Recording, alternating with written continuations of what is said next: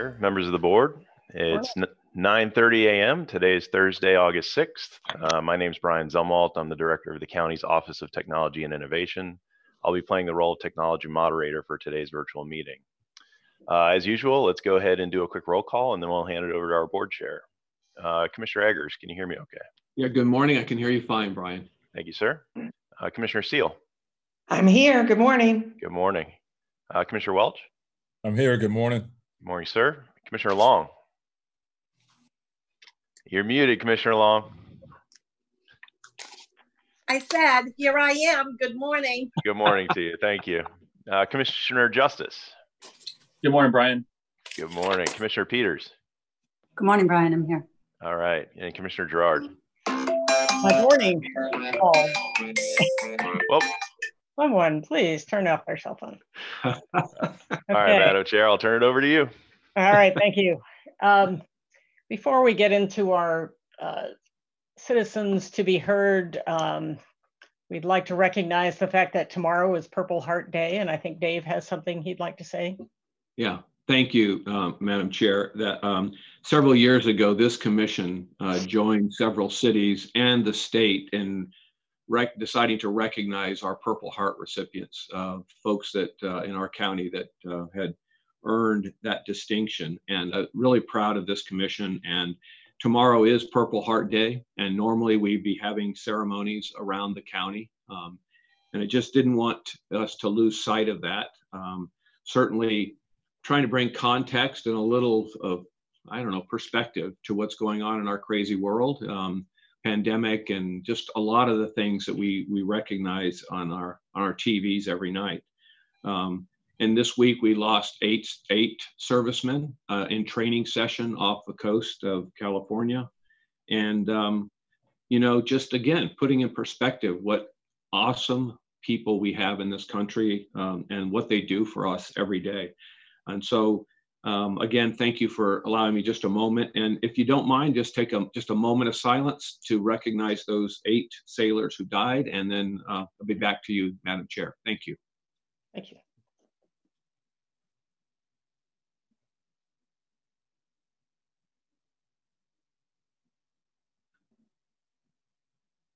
Thank you, Madam Chair.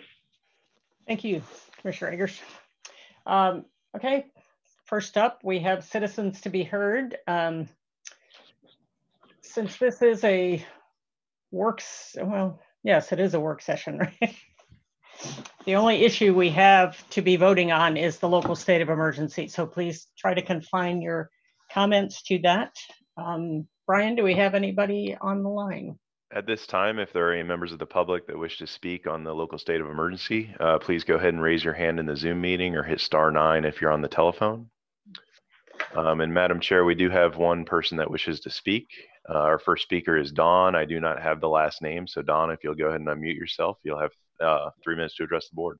And by the way, give us your Um, first, last name and address, please. Okay, and this is on the state of local state of emergency, correct? Yes, ma'am. Okay. Uh, my name is Don Bohler, B as in boy, O H L E R. I live at 6678 54th Avenue North, St. Petersburg.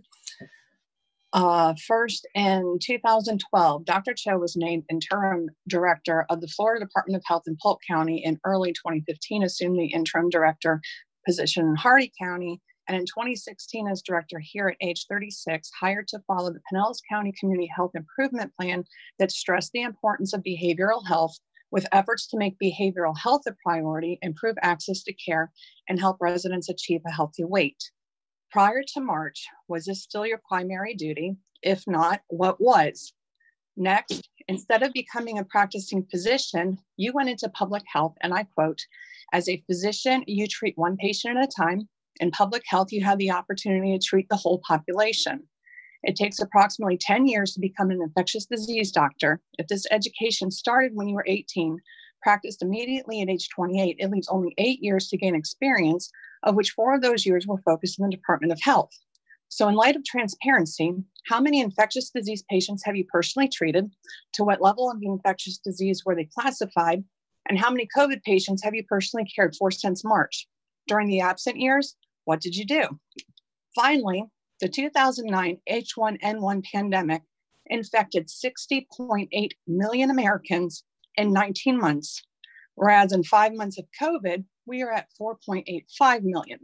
If we were to stay, stay on the same infection rate in the same time frame, COVID case numbers would only add up to around 19.4 million. Can each of you explain how the mandates and the continuously pushing back the goalpost are justifiable when H1N1 cases were by far worse than COVID, had only a declared national emergency that allowed public health agencies as well as doctors and hospitals to bypass certain requirements, FDA permission to use the investigation, the investigational antiviral peramivir, and freed up supplies of Tamiflu and Relenza, yet there were no shutdowns, no restrictions, and no measures taken to prevent that spread. Thank you. Um, Madam Chair, we do have another speaker. Oh, uh, okay. uh, Ms. Karen Mullins. Uh, Ms. Mullins, if you go ahead and unmute yourself, give us your first, last name, spelling, and address, and you'll have three minutes to address the board. Good morning, everybody. Karen Mullins, M-U-L-L-I-N-S, Dunedin, Florida. I just want to repeat the, the color before. H1N1 had some immunity, had some herd immunity because it had been seen before in our in our population. I personally got H1N1. It was not a fun a fun virus to have. I lost a friend to H1N1, but again, we had the ability to fight it. There was a um, vaccine in the works almost immediately, and we had a game plan. We ha- we knew how to deal with it. The COVID 19 we don't know what it is. We don't know the outfall of this virus. We are seeing some tremendous, tremendous uh, symptoms after the virus has been supposedly cured. So please, please stay with the science. And good morning, everybody. I'm sorry I had to say that. Good morning. Thank you. Um, do we want to, um, Mr. Administrator, do a, uh, a rundown of where we are or Madam Chair, yes, I, I think um, just to, for the context of the public, uh, the commissioners listen in on the executive policy committee calls where we update our numbers and the strategies we have. Um, I think from an overall standpoint, the strategies of uh, the um, wearing of masks, the limiting the large crowds at like bars and other things, and, and of course the state has regulation on that, but we have local regulation also and the public education is having an impact. I would like for Dr. Choe to give you um, an overview of our numbers and the trends that they're seeing from a health perspective. Dr. Jameson is also on the line, and he is a practicing physician in a ER, so he sees firsthand. Um, and then I can kind of highlight some of the larger strategies around our nursing homes, uh, staffing at hospitals, and uh, testing. Um, good morning, everybody. Um, in terms of some of our trends and our numbers, uh, we have seen an overall improvement over the last few weeks. Um, uh, looking at some of the numbers, um, there has been 17,359 cases cumulatively. Now, in terms of the, the seven-day rolling uh, counts, uh, we have again seen some improvements there. Uh, with the case count um, averaging 184 daily. This is a big improvement from last week, where we've been seeing uh, 200 to 220s to 230s. Um, there has been some decrease in testing, uh, decreased demand at some of our sites, as well as some interruptions with the hurricane, but this is reassuring. Uh, now, in terms of the seven day rolling percent positivity, we're now at uh, 6% seven day rolling, um, which is also an improvement. We were at 7% uh, for a good portion of last week. Uh, this is probably one of the better percent positivities also in the Bay Area. Uh, but again, I, I do want to stress that we do have in Pinellas County a large vulnerable population here. Um, and as a result, we will see some sometimes disproportionately impacts uh, as it pertains to complications and deaths. Uh, yesterday, we saw 467 deaths related to COVID. Um, uh, and overall, we have seen that increase over the last uh, six weeks. Um, however, uh, there has been a decline and an improvement of those numbers over the last two weeks. It, it, continues to impact uh, more so the uh, vulnerable populations. The mean age uh, has been 80 with 89% of death occurring for those older than uh, 65 years of age. Now, 67, 69% of the deaths have come from the long-term care facilities, which really underscores that importance of continuing to work with those facilities as it pertains to infection control practices, um, as well as testing when we do start seeing those cases. Now, in terms of hospital uh, healthcare system capacity, uh, the healthcare uh, capacity has been stable over the past two weeks. The numbers of COVID patients in the hospitals, ICU beds, and on vents have declined over that time span. And uh, as of this morning, we have 330 uh, hospitalized COVID patients uh, in Pinellas County, uh, 68 in the ICU and 37 on vents. We are making some headway here in Pinellas County and we have, uh, but we do have a long way to go in terms of battling this pandemic. And if this was a football game, we're probably only in the second quarter. Um, so I think the message is that we need to, we cannot be complacent. Uh, we must not fall victim to COVID fatigue, um, just with this drawn out sort of course of this disease. We need to keep it up and continue with the social distancing practices and wearing masks. Thank you. Thank you. Uh, yes, Commissioner Justice. Thank you, Madam Chair. Uh, Dr. Choe, and, and maybe this is for someone else on the, the team, but um, early on, we talked about our EMS folks and our fire department folks visiting every one of our long-term care facilities. Uh, have we done all of that? Have, have there been trainings at every facility? kind of give us an idea of where we are with our communication with those long-term care facilities and their their training and upgrades. Okay. So uh, we have a great we have a great partnership. We developed here a long-term care uh, task force comprised of DOH, uh, emergency management, county government, the hospitals, our fire departments. They've been a huge partner to us. Uh, they visited all of our 250 um, uh, nursing homes as well as long-term care facilities, providing some of the training, um, looking at their PPE needs along with emergency management. Um, and when uh, we uh, at the Department of Health side work, continues to work with those facilities, um, when they do have cases, look at some of their needs, help uh, utilize state resources for uh, staffing augmentation, uh, having nurses there when needed, assist with capacity, uh, testing capacities as well. Uh, and as you're probably aware, the states also uh, instituted a, a two week testing every two weeks for all the staff members in those facilities as well. So, um, and beyond that too, the, the great work of trying to find these super SNFs, these dedicated COVID um, uh, sites have uh, proven invaluable to both the, the long-term care facilities and the hospital systems at large. Well, that was going to be my follow-up about uh, with with the skilled nursing, the super skilled nursing facilities. Um, we've been able to uh, alleviate the hospital population that really didn't need hospital care. Isn't that correct? Right. And I think that, that contributed to the improvements of, of those uh, COVID patients within the hospital setting. So I think that is a contributing factor there.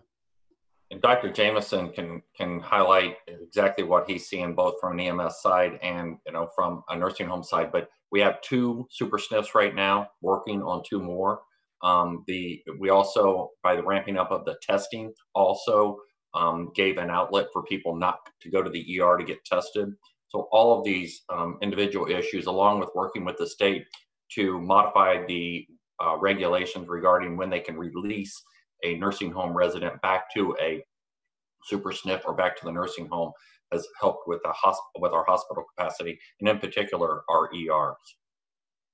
Dr. Jameson, anything to add on that? Uh, no, other than to say that I'm I'm just so proud of the work of all of the EMTs and paramedics, uh, both at our fire departments and at Sunstar. They have just done an amazing job um, taking on the additional role of helping to support those long-term care facilities in the midst of of doing their usual duties, and they they've done it just in a fantastic way. Um, we continue to see um, a slightly below normal call volume based on the last numbers I saw, but uh, we are seeing um, at least at least a feels like of uh, more severe uh, disease in folks, and I I do continue to worry about people uh, being reluctant to access the hospitals and reluctant to access medical care, uh, and I, I, do want to encourage folks uh, that if they are having a medical emergency, to please go ahead and either call 911 or go to the hospital. Um, please don't uh, don't put that off and wait until things get worse we are seeing more and more evidence uh, of things like delayed diagnosis of everything up to and including cancer uh, as a result of, of this pandemic. And so uh, I do want to put that message out that, that you know, people need to uh, feel comfortable and confident that the healthcare system is doing everything they can to keep them safe, uh, and that if you have an, an issue, you should go to the hospital. Thank you very much. Uh, yes, Commissioner Welch. Thank you, Madam Chair. Um, I wanted to uh, first just uh, thank Dr. Choe and Dr. Jameson for continuing to provide us with the facts, the straight facts. And I know they didn't get into this game for politics and some of the hits they take. And I just want to publicly thank them for keeping us, um, you know, focused on on what matters. And as Barry said, you know, we are seeing the impact of, you know, our policy decisions that were based on the science, the math, the distancing, the bars, and other things. So, um, you know, this is the way it, it should work. And, and I'm so proud of our community for their work. Uh, Dr. Choe answered most of my questions. I did have one question just on our dashboards. The Times uh, article this morning showed, as Dr. Choe said, that we have, you know, the most deaths in the Bay Area at 469 is what they showed, and then also the highest um, death rate of any county, and that's because of the long, long-term care facilities.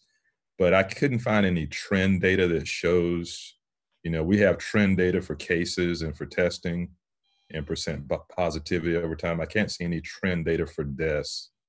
And is that something that's available and I just don't know where it is, or can we put that up so folks can see that we're actually doing better and there are spikes based on individual cases at long-term care facilities. Do, do we have something like that, Barry?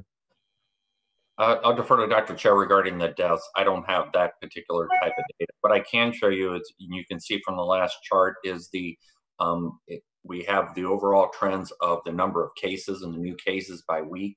Um, that that does show a declining in our long-term care facilities slightly, still high, but right. but slightly. Um, but I can, I'll defer to Dr. Choe regarding the death rates. Okay. So I, I, so I don't think on the dashboard we do have the the trends of the the death, and certainly we can talk to the the team regarding that. Um, but but um, in lieu of that, I can provide you some of the information. I, I think um, in terms of the numbers that do come out, it's the death that are reported. It's not really um, marked by the uh, the date of death, which I think is more accurate marker. So we do track that, uh, and I certainly can share that with you. Okay, and are we act doing better in terms of deaths? I mean, we could have had spikes early on that are still reflecting in that overall rate. So I'm trying to understand: are we doing better recently than than we were uh, prior? So I, I, can I can tell you with that last peak that we saw, and sometimes there is that lag uh, with uh, severe uh, complications as well as deaths. Uh, I can tell you over the last six to seven weeks, uh, that's uh, um, the 73% of our deaths have occurred in that time frame. So, okay. so, the majority of our deaths have occurred in sort of a shorter time frame. Uh, but uh, if you look at that weekly count of death, we have improved uh, or in decrease in that number over the last two weeks. Okay. But Commissioner Welch, to your point, to your point, I just want to, this more of a statement rather than facts, but we're really trying to reach, and this is the education piece to understand, especially for younger people, that um, where we have the community spread, there are nurses, there are CNAs, they're in our hospitals, they're in our long term care facilities, and we have over 250 long term care facilities here in this county, far more than other counties. Our average age in this county, because of long term care, is over 10 years greater than it is in Hillsborough, for instance. And so that that it puts us at a higher risk. So it's not about you know that you and your friends. It's it's really about caring for our most vulnerable, and that's the, been the concern all along. That's been the education piece. That's the reason I'm so grateful for our fire and EMS folks to work with our nursing homes and make sure they're doing everything they can to prevent this spread and from it coming into the facility because it has a major impact um, on our residents there. Agreed, Barry. Madam Chair, just one other item. Um, mm-hmm y'all have done some fantastic work on testing. Can you just update us quickly on uh, what's happening with testing in Pinellas? So we have so our Mahaffey site. So we uh, we have the Mahaffey site. Uh, that site is running well. If you need a test, um, we encourage you to go there. There's been a couple of pop-ups uh, sites, but we also have the community health centers uh, that have three different sites. Um, our health department, uh, and and then also there's we're moving the the one at Tropicana Fields. It'll be uh, moved north. Um, we'll have announcements on that soon. Uh, they're working out the final details and logistics of that site. Um, so testing is available. Uh, the turnaround uh, for the ones that we're familiar with, um, and, and it, it, varies. If you go to different places, but depending upon the labs, the, the lag time in getting the test back. Um, but it's been fairly decent at the Mahaffey site between 24, 48, maybe 72 hours. So um, a fairly reasonable time period uh, for turnaround um, for, for your lab results. Um, the the I, I, will I will say that the as we um, kind of extend this out, the one issue with all these testing sites is the staffing, and that's key. The only reason I say that is uh, they, these are contract nurses for the um, ones that, uh, that both Mahaffey and the one that'll be staffed north. Those are dependent upon state resources. So that continues to be a challenge, but so far it's working well. And community health centers, as we uh, put out this week, added night hours at three locations: Clearwater, Pinellas Park, Johnnie Ruth Clark and I'm so grateful for them for doing that. That that reaches a um, another segment of our population where they're, they're you know trying to work and have other commitments. All right. Thank you so much, Barry. Thank you, Madam Chair. Thank you, Commissioner Peters. Thank you. Um, Dr. Choe, I want you to talk about um, some T cells. I've seen that there's a new study out of Sweden and Germany. Um, and I, I, tried to look them up. I couldn't find them, but I found some other ones that discuss the T cells. And, and um, correct me if I'm wrong, but if you had any kind of COVID in the past, um, even as much as the common cold, because COVID's been around for many decades, I believe, um, in various forms, that there's these memory cells called T cells, and they have the T cell helper and the T cell killers. Um, and based on the, the first study that I heard about, that these um, can protect somebody who from from getting the virus, or if they do get it, it's a minimal it's it's a fighter to stop it or prevent it from being a serious infection. Um, so the killers kill the infected cells, and I just want you to kind of talk about that. And then I'm curious: Are we looking at the T cell stuff in um, in treatment or in herd immunity? Because it's my understanding if if you have a large population that has these T cells from COVID, does that not expedite hitting herd immunity quicker? And if you wouldn't mind talking about that, and I have one other question, Madam Chair, before I'm done.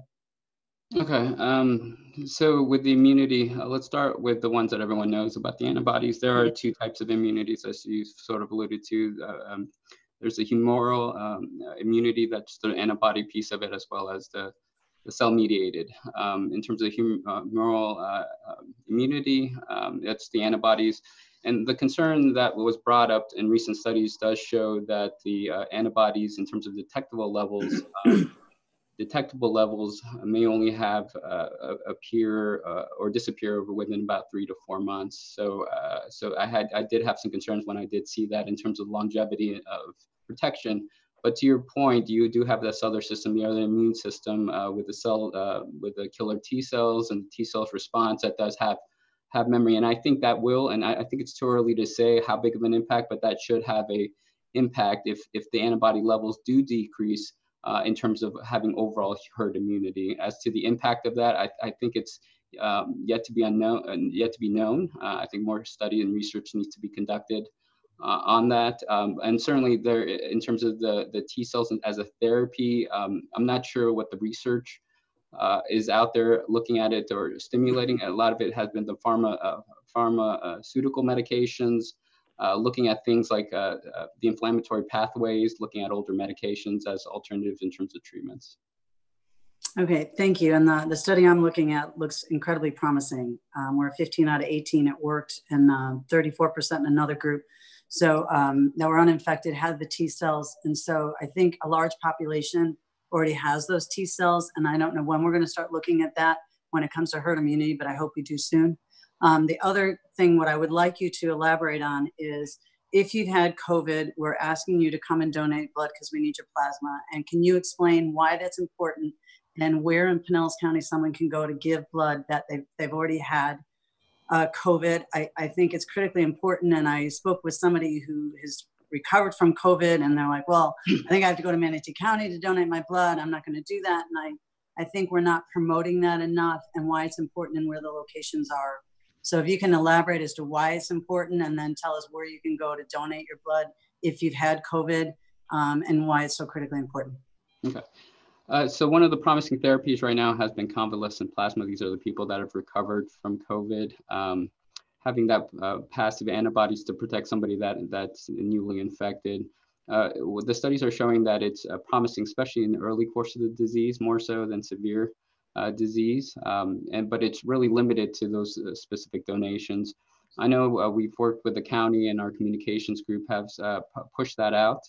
The point of contact has been One Blood, and you can check out their web pages, and we can certainly get that information out there. Uh, there is certain uh, criteria that you have to meet. You have to recover the past 14 days. I think you, you, need to show some documentations of evidence of disease and or uh, antibody formation, uh, but it's all spelled out in that webpage and we can certainly uh, share that with the public. So if they waited a month, it's too late? No, no, uh, no. It's a minimum of 14 days, to my understanding. Um, but again, I think they need to show, uh, and they will test again within their sites that you do have detectable antibodies because you need those antibodies uh, to be effective. Okay. Okay, and the report that I'm I'm reading also shows that those memory T cells are also there that will help long term as well. So, thank you. I appreciate it. Thank you. Any other questions? Okay. Um, Commissioner Eggers has a question, Madam Chair. oh, Chair. I'm sorry. I, I wrote you down and I forgot to call on you. Commissioner Eggers, you're muted too, sir. Of course, we had to do one. Thank you, Brian. No worries. Um, uh, just, I didn't know if we were moving on to the next topic. I just wanted to, just a brief update uh, on the CARES program, the, uh, where we are on the individual, the business, and then uh, there was a couple of programs that, that were rolled out yesterday. Um, and I know that's that word's getting out. So if we could just touch on each of those briefly, that would be great. Yes, Commissioner. So um, there's actually a program we sent out yesterday to you, but it's actually going to be rolled out tomorrow. Um, and this uh, really focuses around two areas. One is going to be a partnership with Pinellas Community Foundation. So us and the Community Foundation will, will be working with our nonprofits. It was one of the key areas that was both identified in our survey and um, identified as part of your program that you approved a couple of weeks ago. This will push um, out funding for nonprofit organizations up to 29.7 million. This will include areas of food, homelessness, behavioral health, and legal aid for housing. Uh, the next area is on child care providers. We know early on that this was a key area uh, that were impacted by this program. Um, so you've identified $4.6 million available. We partnered with the Early Learning Coalition um, and to be able to push out grants to cover uh, one-time grants for cover expenses such as employees' wages, vendor bills, rent, health and safety requirements. So both of these programs are ready to go. Um, they'll be launched tomorrow. Um, there'll be direct outreach. We um, last night we uh, Aubrey sent out to you kind of the summary of the various uh, programs, many, uh, most of which are at some form of approval. Uh, but the key partnerships with um, uh, the some of the the local grant program is still uh, in the final stages of development. We have Aubrey scheduled for next Tuesday uh, to give you a full overview of each one of the programs and its status because we're hopeful by some of by between today and tomorrow and she was emailing me about 10 o'clock last night to be able to kind of finalize some of those uh, uh, details regarding contracts uh, for like the micro grants and some of those uh, areas. So they're very close to launching all of them. Those were two that were ready to go and we're pushing out. Obviously, from the individual side, um, the a major improvement has been that attestation form that you approved as part of this program. Um, so we're we're starting to see some of the decline. Um, proof will be in the pudding as we as we watch our 211 program. If that in fact speeds up and they're able to eliminate the back both the backlog through additional staffing and also a improvements in ease in the in the documentation required. Um, we we hope to see significant improvements within that program very soon. So um, if if that's enough, I can certainly um, answer any specific questions. But we're going to give a complete overview of the program uh, next Tuesday from Aubrey. And Barry, uh, is it? Are you you think on Tuesday we'll also uh, we'll be able to announce that new testing site uh, for uh, the north end of the county? I'm not sure about that. Um, we um, we have to work with them regarding um, when they um, announce that. I think yes, we should be that should be out by Tuesday. Be um, close. Close. Okay, I, yeah, So, my understanding. I. I, I only hesitate because we've, we've tried to say, let's get all the kinks worked out, just like we did at the Mahaffey. Yeah. Um, and then, um, a- after we said that we're not going to announce it, we had people showing up the next morning wanting to get tested. So I'm very, not trying to be coy. I just, I, I want them to be able to work the kinks out. Um, to where people have a good experience. When they come there, they can be processed, they can be processed quickly. Um, and even, even the testing protocols and, and things, you know, and, and sites like this, you're bringing in contract nurses, uh, typically from out of state. We have to get the, you know, the protocols and the documentation and throughput and how they, how they take that and then process those uh, to get the labs and report those results. So there's, there's quite a bit of um, administrative type work that needs to be able to go into a site running well. I have no doubt that they'll get there and just uh, a little hesitant to say exactly when. I think it'll be up and we should be able to talk about it by Tuesday. Okay, well, thank you. I just, I, I had a meeting this morning with a, uh virtual meeting with the Chamber of Commerce. There's probably 40 people on there and we were, many of them were talking about uh, trusting and the transparency that goes on here. And I said, the only time you may not get that is when we're just not ready to announce something because we don't want, we want to be able to deliver on what we can. So I appreciate that. I know we have to be careful with it, but um, anyway, thank you for that update on the CARES program. Okay, anybody else? Um, I, yeah, I think I would like to take this issue up and vote on it and then talk about uh, the next thing that's on our agenda, if that's okay. So I will entertain a motion. Commissioners, if, if I can, Commissioner, uh, you have two different options um, under the local state of emergency. So we, um, we discussed, um, we can approach this a couple of different ways. So we have both this meeting and we have a meeting next Tuesday. You have a two-week scheduled break. Um, we were kind of watching where we were at within this pandemic um, before putting a, a couple of options before you. It's certainly okay to schedule additional meetings uh, during that two-week period, or you could delegate that authority. Jewel is prepared for you two different options. You could delegate that authority to do extensions of the local state of emergency um, during this period, if you like. So um, I can certainly defer to Jewel to, to, to explain the different options. Um, but uh, one of the two things we need to occur, and again, we don't have to make that decision today. If we don't want to, we could do it next Tuesday. But um, after next Tuesday, your next scheduled meeting is September 3rd. And, and just to be clear, what we what we did for you all today, there are two attachments on your agenda. The first one is the order that extends the local state of emergency. You do need to take action on that today so that we can keep the emergency in place. Um, the second one, and we went ahead and did it as two separate resolutions, so you could take these two issues up independently, is we did draft a resolution that would provide delegation to the chair, or in the chair's absence, the vice chair or the county administrator, to do subsequent extensions of the local state of emergency. And again, as, as the county administrator referenced, you do have some weeks coming up. You have been stacking these meetings on a weekly basis for some time now. Um, I know we have some other things coming up that um, elections and other things that might make it a little bit more difficult uh, to get some um, meetings put on your calendars. Uh, so we are offering this to you as an option. And again, again, as uh, the administrator referenced, um, you already have a meeting next week, so you can extend the emergency for another week, obviously at that time. Um, but this is another option for you if you do want to take that action. And again, it would delegate authority to the chair or in her absence, the vice chair or administrator to do subsequent extensions of the local state of emergency, um, you know, until that point in time when it's no longer needed. If you do that delegation, there's nothing to say that the board couldn't take action on it itself when it is in a regularly, um, you know, constituted meeting, but this would provide for some of those gaps. And it does not, it, so it does not allow for any changes to the ordinance, just an extension of the state of emergency, which we have been meeting every week for. That, Um, that's, And this is quite a, an undertaking for the staff to put these up, these meetings up and to staff them the whole, some of, some of them very long meetings.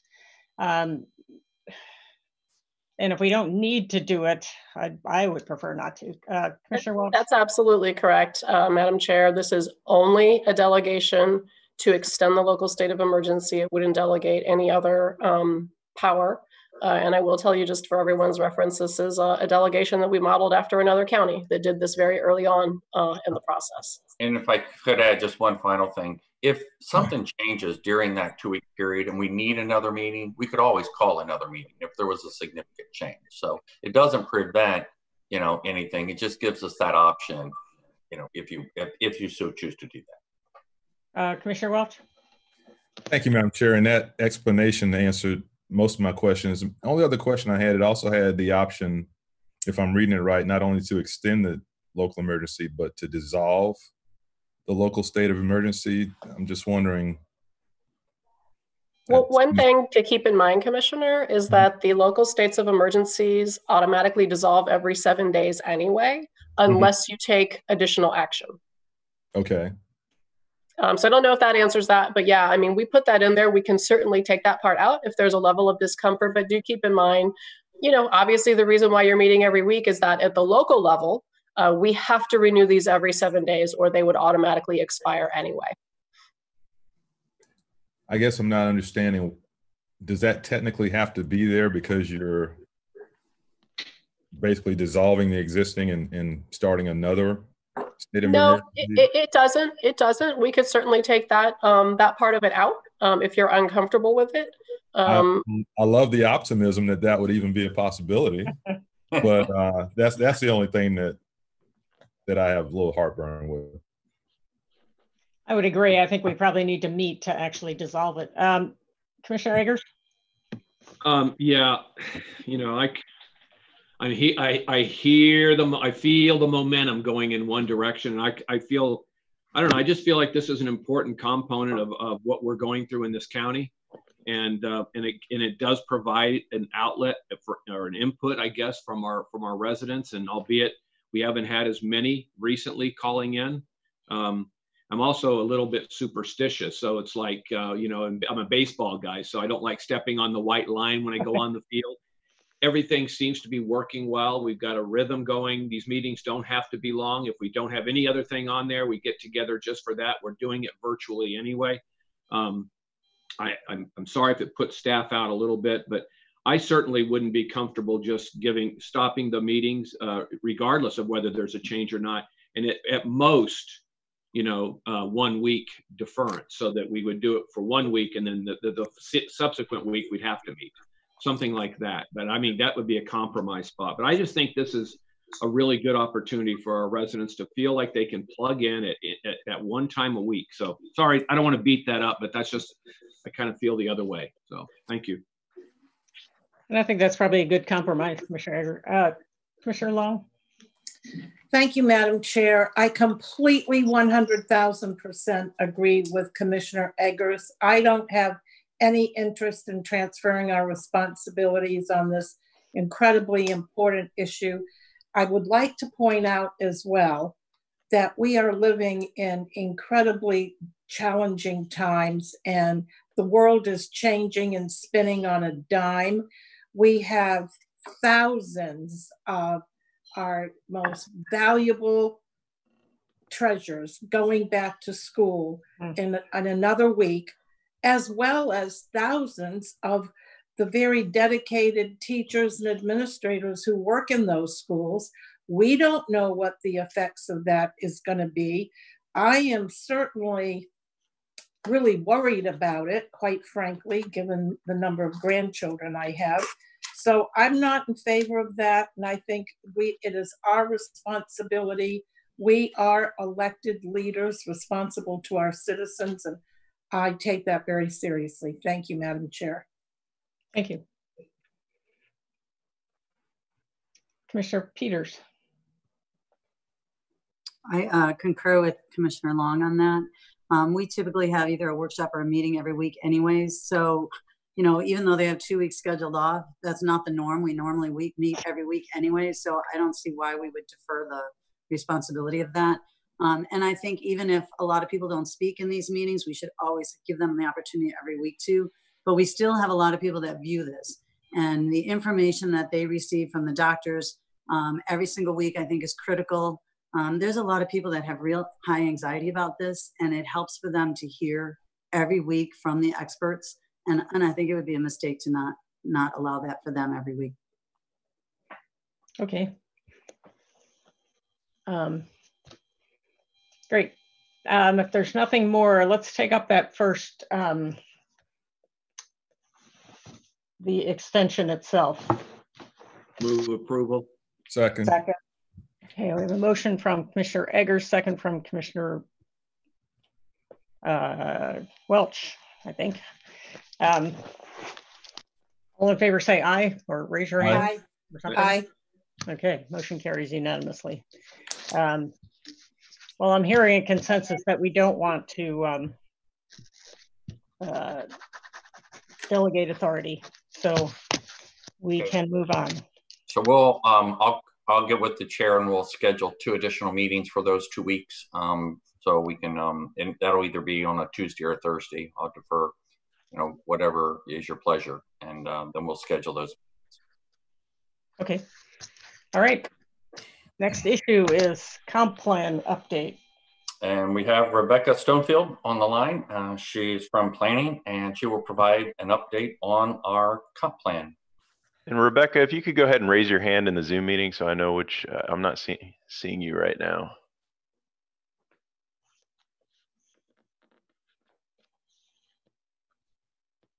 Rebecca, can you hear me? Yes, Okay, you're under a different name on the Zoom meeting, that's why. Okay, I'm gonna promote you. Give me one second. thank you.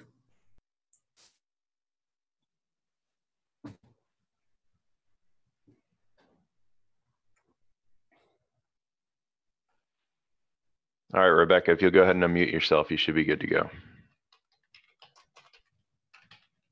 Great, thank you.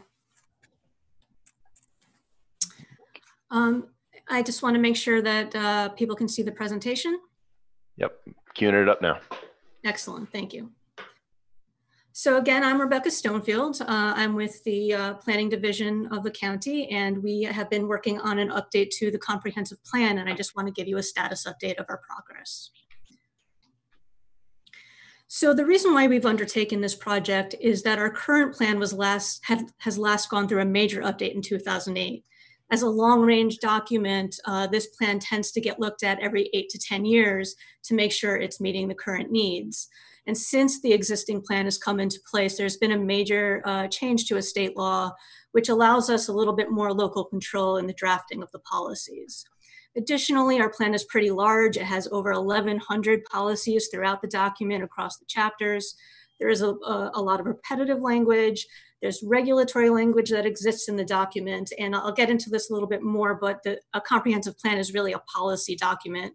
And so we want to remove regulatory language and make sure that there are no conflicting policies across the many chapters. Also, the community is dealing with a number of changing needs. We're a built out community. We want to make sure policies support redevelopment and not specifically new development on vacant land, as that's not a, a, real concern for us in the county at this point.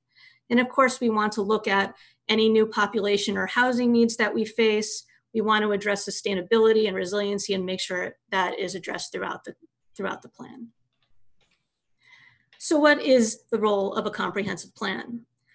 The county, uh, as an entity, has a number of goals, whether it's providing affordable quality housing for all of our residents, we want to expand job growth. There are a number of things we want to achieve. So the comprehensive plan essentially guides future actions the county will take to achieve those goals through the establishment of policies. These comprehensive plan policies feed and support the methods that we use um, in order to accomplish those goals. So whether it's through regulations such as the Land Development Code, whether it's the programs we choose to um, move forward with, whether it's how we choose to invest within the community, those are the tools that are guided by the policies within the comprehensive plan document that help us achieve those goals. So uh, we needed to start as um, this multi-phased approach to get to the point where we are, where we've been updating the policies. And we started with defining our community vision. And we did that through the creation of guiding principles. Currently, the comprehensive plan has over 47 or has 47 governing principles. And we really wanted to focus that message and streamline that. And we looked at a number of different existing documents. Um, we looked at community survey results we looked at a number of things to streamline it to these eight guiding principles, which we've shared with the board a couple times over the past um, couple of years. And we've also gone out to the public through a series of open houses, speaker events, presentations. We had an online survey to make sure the vision that, that kind of is defined through these principles is consistent with what the community wants. Um, and we have created a specific web page that shares that message, and we've had over uh, 3,000 views of that page when it was set up. So that was the first stage, setting that vision. And then the next stage was truly trying to understand what is in our comprehensive plan today. And we did that through a policy consolidation process. We brought in a consultant from the University of Florida who looked at every single goal objective policy that's in our comprehensive plan today and tried to streamline it and organize it in a way that we could understand uh, the specific message by removing repetitive language, taking out that regulatory language, or just eliminating um, information that is not necessary um, without changing the intent or meaning of what is said today. And what this did was set um, a foundation for this um, current update, which I'll uh, be talking through. Um, so I'll start by saying that these, these outer gears that you see in this illustration represent the broad categories that make up our community. And this is shown to illustrate the interconnection of these issues. You have housing, education, mobility, or our transportation system, jobs, and livability.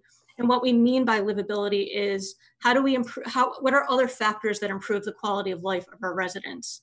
And all of these different um, all of these different components work together. You can't look at one without the other. And I'll, I'll talk about that a little bit more over the next couple of slides, but I'm setting this up to say that as we were evaluating the document, um, we, we wanted to make sure it advanced our county initiatives, our, our, our equity and, and, affordable housing and redevelopment, et cetera.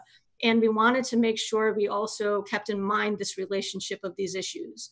We looked at do these policies support our Penny for um, efforts? And we're also establishing metrics so we can look at the success of these policies as we move forward.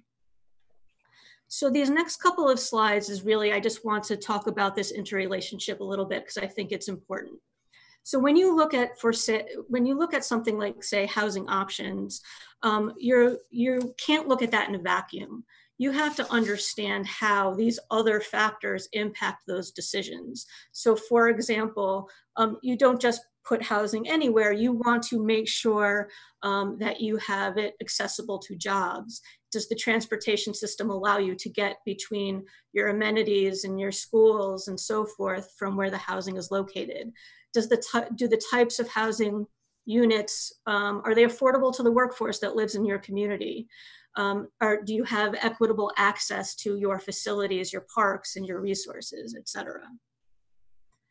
And this, this slide um, is similar, but it's just showing you from a different perspective when you're focusing on something like, say, job growth. It's a similar thing. Are you, do you have a housing stock that have costs and sizes that meet the needs of the workforce that you have in place or that you're hoping to attract? Do you have a well-trained workforce that can fill the types of jobs you're bringing in? Again, do you have those mobility options to get a greater number of people to and from those jobs? And you want to create places where not only employees want to work and live, but employers want to locate because they, they know it will attract the correct workforce. So you have this system, right? You have the vision as the core, the guiding principles that will guide the types of policies you create, and you have this the consideration of these broad categories. And so the way the plan is made up is we have all of these um, chapters that address these issues. And you can see the direct correlation between housing. Our chapter is housing options, jobs, economic prosperity, et cetera. Livability, again, is all those other components that address quality of life, protection of our natural resources, the, the um, delivery of our services, how do we plan our land use categories, et cetera, access to our, our recreation. And so the process that we took to uh, look at the policies and update them was uh, we started from that policy consolidation or that streamlined version of today's plan we had all of the implementing departments review those policies and identify what's outdated, what don't we need anymore, what what should stay because it still supports our, our vision and our programs, and what's missing, what don't we have today that will help advance what we're trying to do.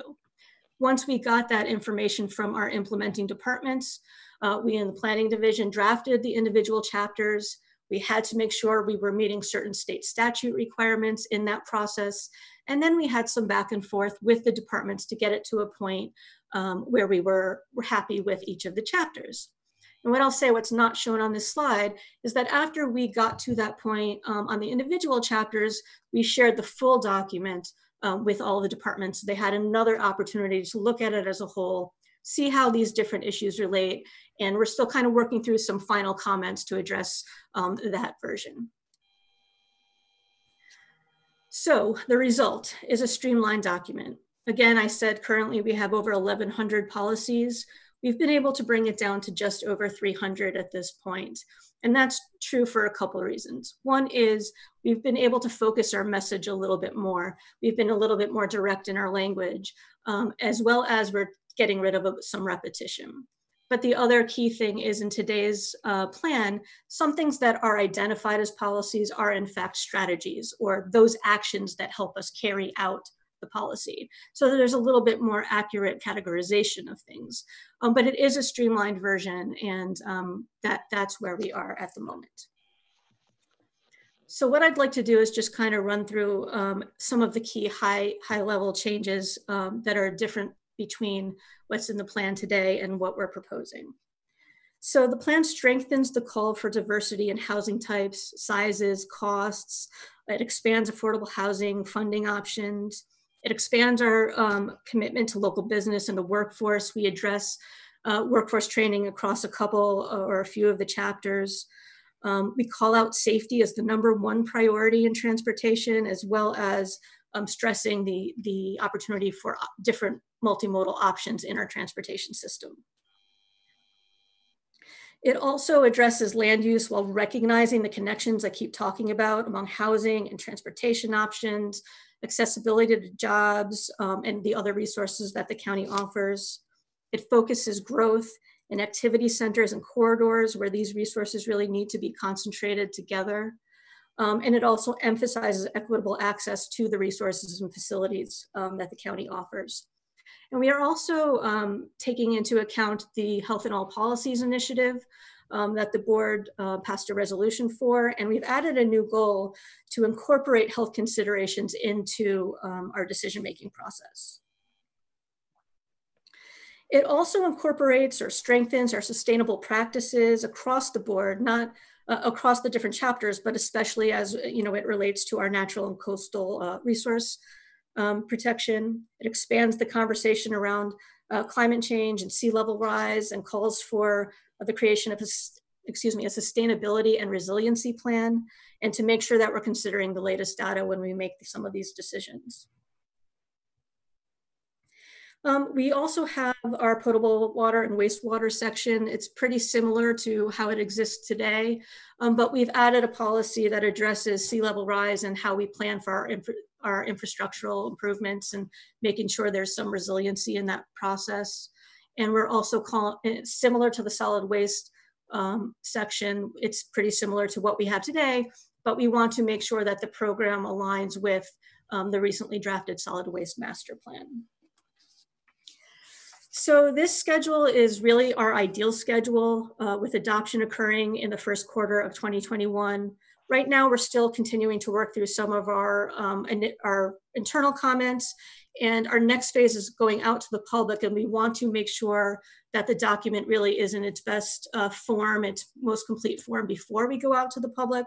So the timeline um, may not be quite as important as getting the content right. So there's a chance the schedule might be adjusted, um, but we're continuing to push forward on this project. Um, so with that, I'm happy to answer any questions that you may have. Mr. Eggers. Uh, Dave, you're muted. Sorry. Yeah, I always mute to make sure I don't say something dumb while everybody's talking. So, and then I forget. So apologize again. Um, really appreciate uh, us looking at the comp plan. I'm glad you took a step back to explain kind of what it is, because I think this was a good discussion if people understand what the essence of that plan is. And um, and you touched on a lot of things. Uh, just three thoughts. One is um, streamlining always makes me the, the word makes me happy and nervous. Um, happy that we're streamlining. It's efficiencies and but I want to make sure we're not losing anything. And it, uh, I think you made the comment in here that it was neutral, so that's good. We did a streamlining of our categories under the countywide plan a few years ago, and there were some unintended consequences that came out of that. So I just want to make sure that we're not streamlining. We don't we don't lose anything. Um, secondly, um, you know, this pandemic, if, if it's not set, done anything else, I think it's brought to the forefront even further the importance of good health. And so I think obviously that being a part of this program is critically important. And I was thinking as I saw another Sunstar uh, truck going by or, or, or emergency truck going by that it would be kind of neat if we could put on the sides of those things the different things that are important for health, like nutrition, mental health, physical exercise, doctor visits, whatever it is. So, so when it's driving down the road, it continues to let people understand how important those are. I know that's a little bit corny, but um, in any event, I think it's really important. And then the final thing that I just wanted to mention is underneath all of this, and it goes with and it goes without saying category, that all of our comp plans do so for all people, right? So it's Absolutely. it's without regard to age, without regard to sex, race, whatever, all of the things that are critically important that we just kind of say, well, of course it does um, somewhere along the way, I just think it's it's another statement that says, you know, this county, we're not going to force people not to have cokes. I mean, I drink cokes, but you know, maybe it's not the healthiest choice. Uh, so it's all about choices, but making sure that we have that information. And I do think for all of our residents to be uh, to be empowered by this, you know, it's important. So just maybe some comment with respect to that in the category that goes without saying, but I think it sometimes needs to be said. Thank you, Madam Chair. Thank you. Uh, Commissioner Welch. Commissioner Welch. It it's catching, Dave. Uh, Sorry. that yeah. Uh, Rebecca, th- you did a great job on this. I think we probably need to put this on YouTube because it's one of the uh, best explanations of comp plans that I've seen, and it's very relatable. And I finally get the gear um, visual. The gears have to all work together. We talk about linkages, but I'm getting the gears.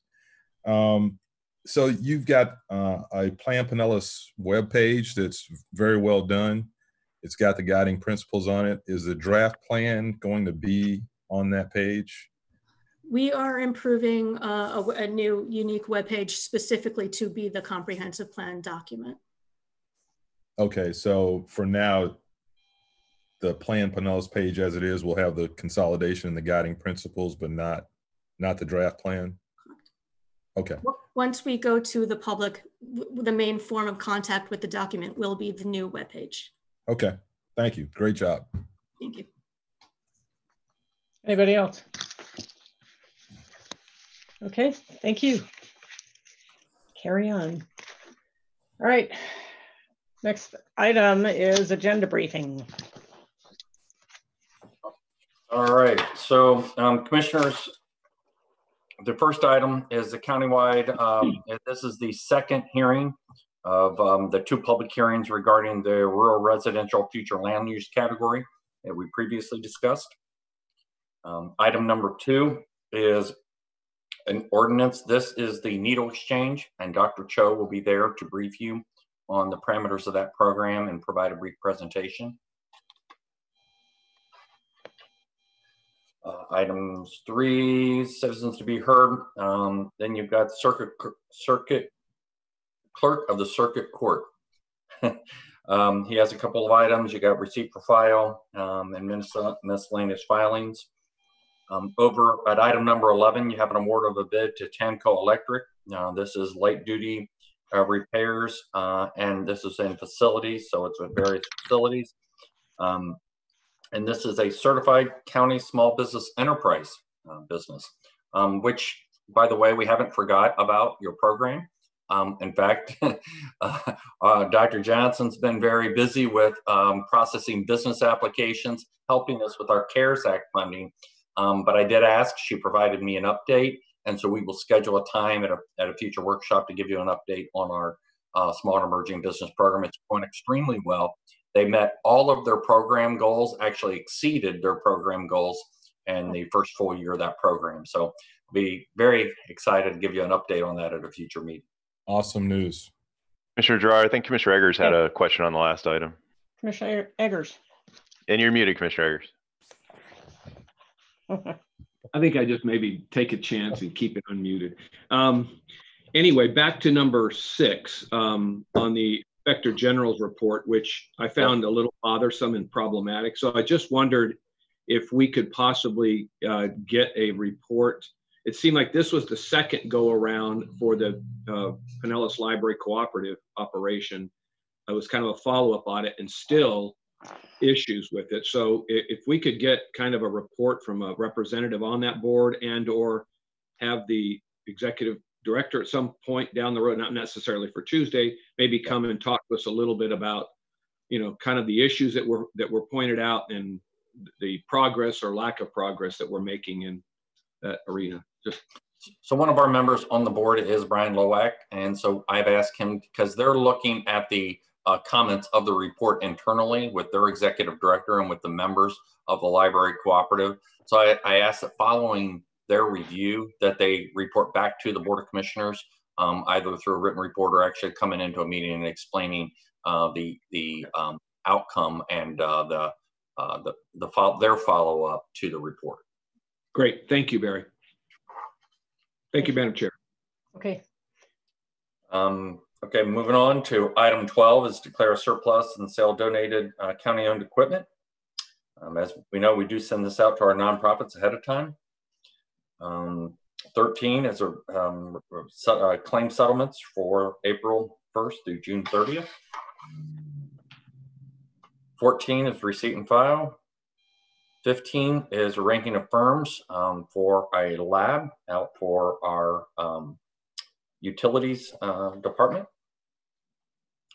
16 and 17 are two new lawsuits we'll be defending. Uh, these are both liability cases. One is a trip and fall, and one is an automobile accident. 18 and 19 are reports from the sheriff's office. Item 20, now that it's clear, is, uh, is an extension of our state of emergency. so that'll be, that'll stay on. Um, item 21 is an addendum to the agreement uh, with Florida Department of Health, um, Operation PAR for the Healthcare for Homeless program. Um, these are two um, uh, addendums of supplemental uh, COVID-19 funding to enhance services within the programs.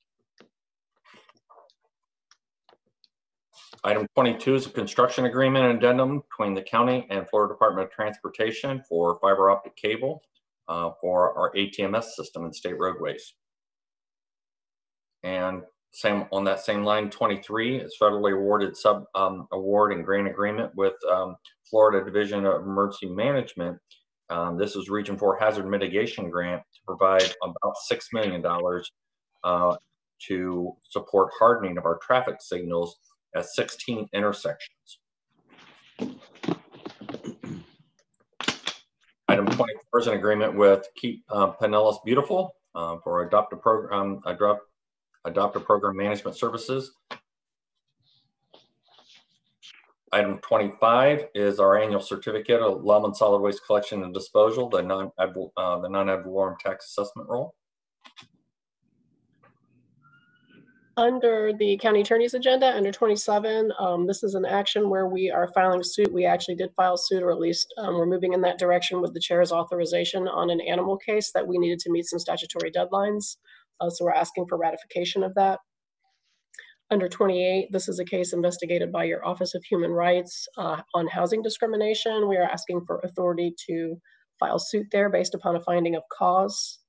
Um, and under number 29, you have actually seen this item before. This is coming back to you um, because of an issue. Somehow a 16th word snuck into the title of the ballot question or ballot language. Um, so we are bringing it back to you to correct that. Uh, did not feel that we should look at that as a Scrivener's error in all caution. Uh, the school board took action on this last week, and we're going to be asking you to reauthorize uh, that ballot question. Again, it's the same thing you already took action on, and it would continue the millage that has been in place for some time. And I don't anticipate any reports at this time.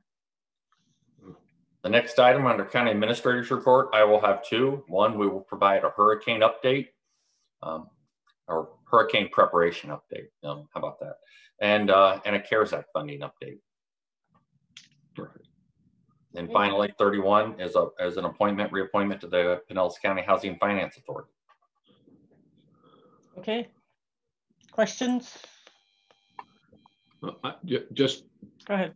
Yeah, just really glad that we're we're really going to be looking at this coming year a trip and fall program. Barry, uh, I saw that on your you know some of the efforts that you're going to be making because we continue to see these things pop up and they are expensive. And um, I just just in and I think I've mentioned this before, but in all the walking that I do, you can see the problems. Now, some of times are in the city and sometimes they're in the county, but I mean they're everywhere.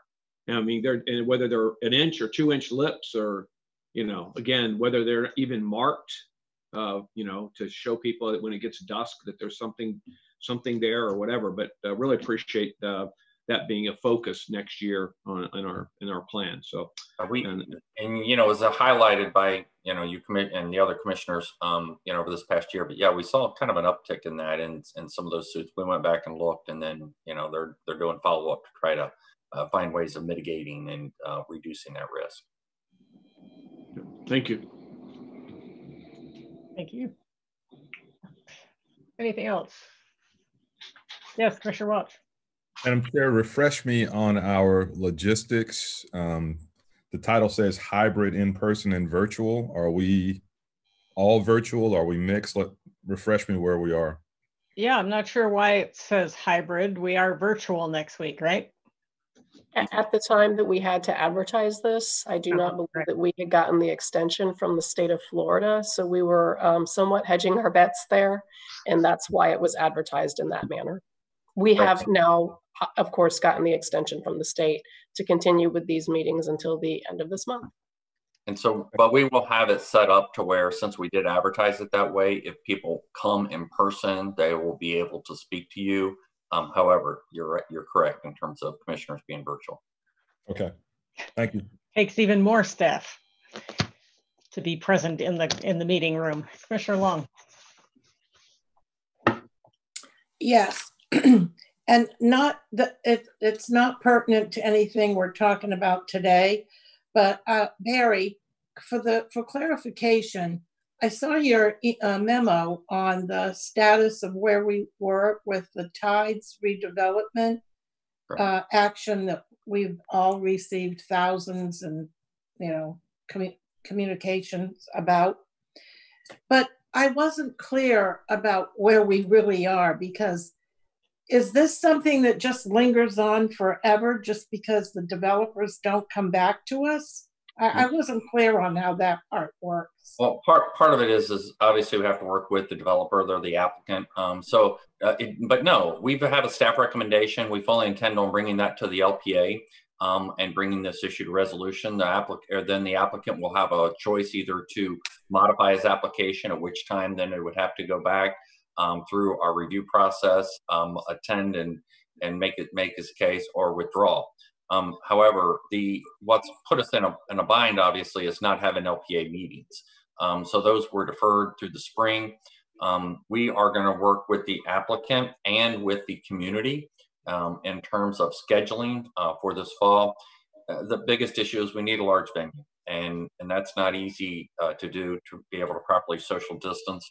Um, even in our most recent conversations, since you saw the latest you know correspondences um, the, the community is going to work, but they want to attend, even though you know it, we're we're dealing with a, a pandemic because obviously that this impacts them and they're concerned about it. So we're going to have to work with both the community and the applicant. But no, it cannot just linger on. There'll have to be a decision made. We will bring it forward um, with our staff recommendation, as you've seen. Well, one way or another, I feel very strongly there needs to be closure on this issue because it's very consuming of everyone's time. And these folks are so anxious about it, just doesn't seem quite fair that we've, we, they, I don't know who, who the responsibility lies with. I don't even care.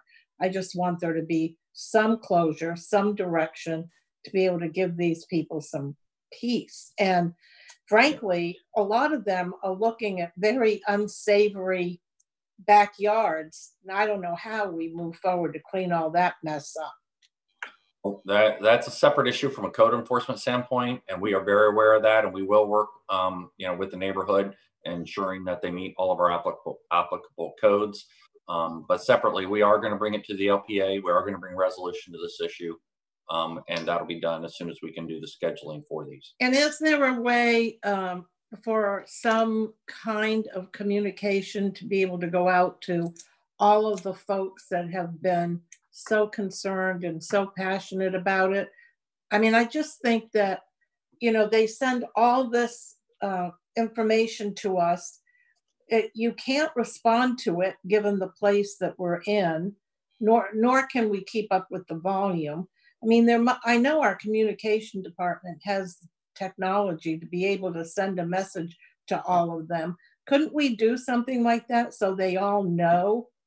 Well, we yes, and we will as, as we as we start to schedule this and kind of outline that process.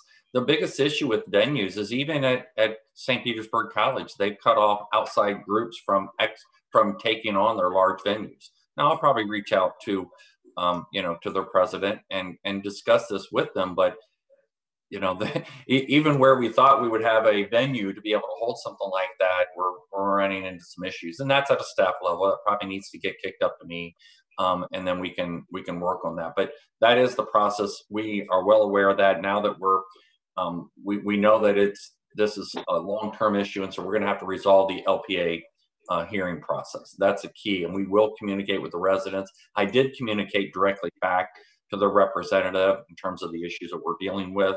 Um, but we do need to communicate with with the residents directly too, and we will just as soon as we have some clarity in terms of a process.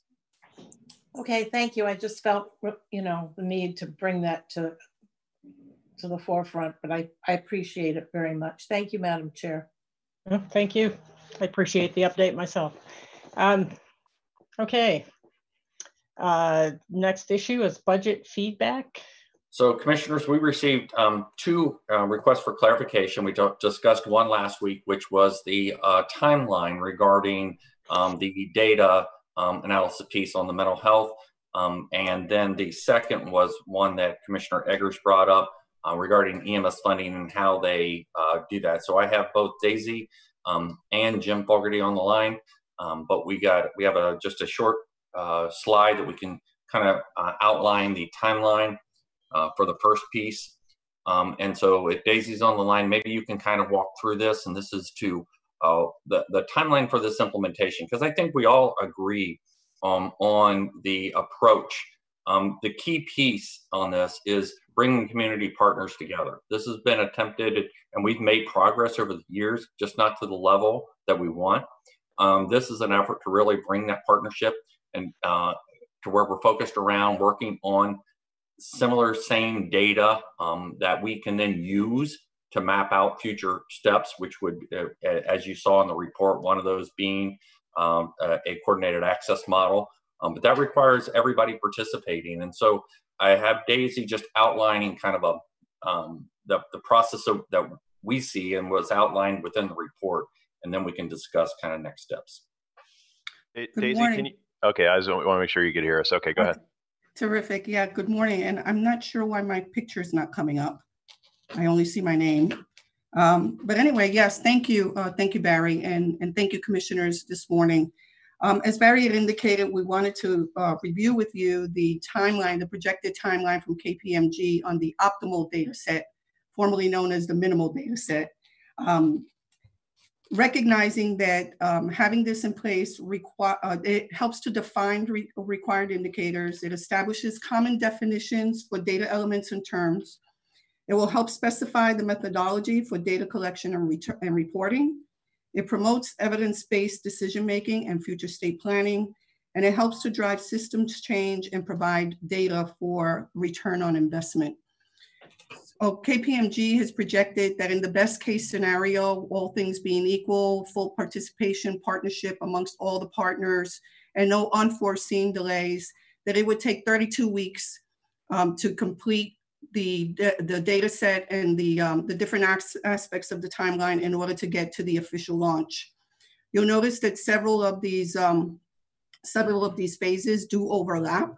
So the first part of it, uh, the first three weeks, assuming that we would start in September, uh, I'm sorry, October, we would be establishing work groups with Pinellas County Human Services and Central Florida Behavioral Health develop a charter and look at those guiding principles and agreement as uh, moving forward and develop a, a comprehensive project plan both together with the with human services in central florida to help move this forward also going along between october and january kpmg estimates a 16 week period for the optimal data set development during that time, we will be facilitating workshops with community stakeholders and getting some input from the subject matter experts. We would be developing the, um, actually developing the, um, the optimal data set and getting it ready for pilot test phasing, uh, testing phase. Um, develop a communication and a change management plan for the providers, the staff, the physicians and also looking at the jurisdictional and leading best practices, standards of care, and, and determining the performance requirements that we would want.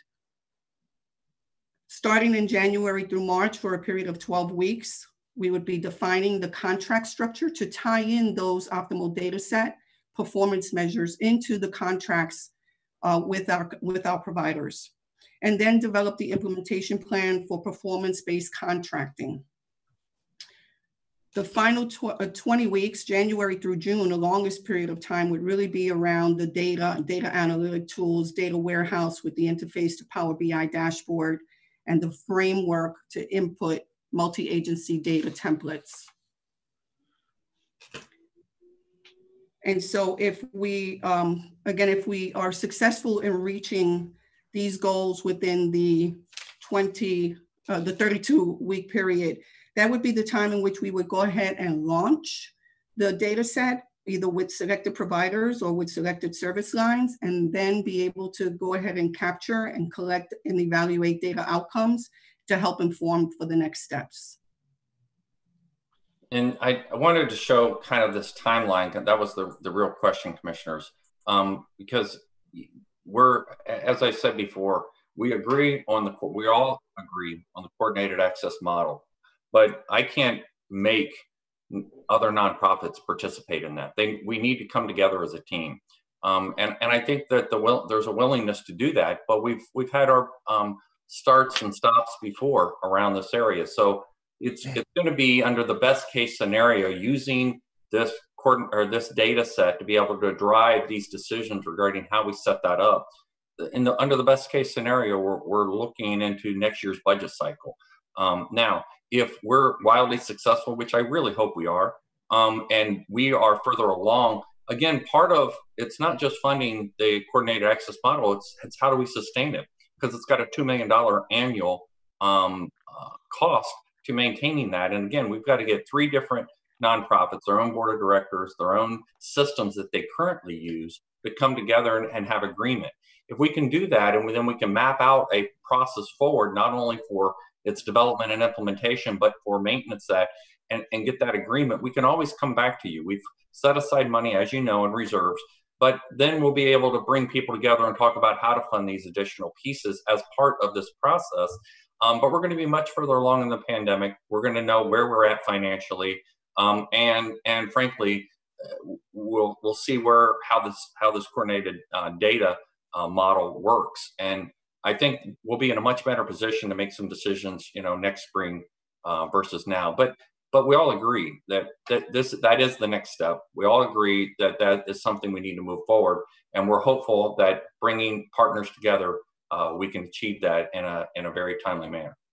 But that's that's the reason I, I wanted you to see the timeline and, and the amount of work that goes into this data set. Understanding these common data elements um, and is key. And it's been key in dozens and dozens of cities and counties across the United States um, when they're trying to deal with mental health issues. Um, this is not uncommon, and everyone started with data first to be able to help drive their decisions. And so that's where we're at, and we look forward to working. Um, but that's the reason we made the budget recommendation as we did. Uh, Commissioner Peters. So Barry, um, because you've said over and over again, we have no teeth, creating this optimum data set, how does we have any teeth to make anybody use this at all? Got to be a partnership. They they they'll need to participate in that. We can put that in, but if they don't use it and are not part of it, then you know then then it goes nowhere. So I have said two times in the past in two different meetings that if we did have the coordinated access system and we funded it, then for them to be within the referral system, they'd have to use that data set. They have to.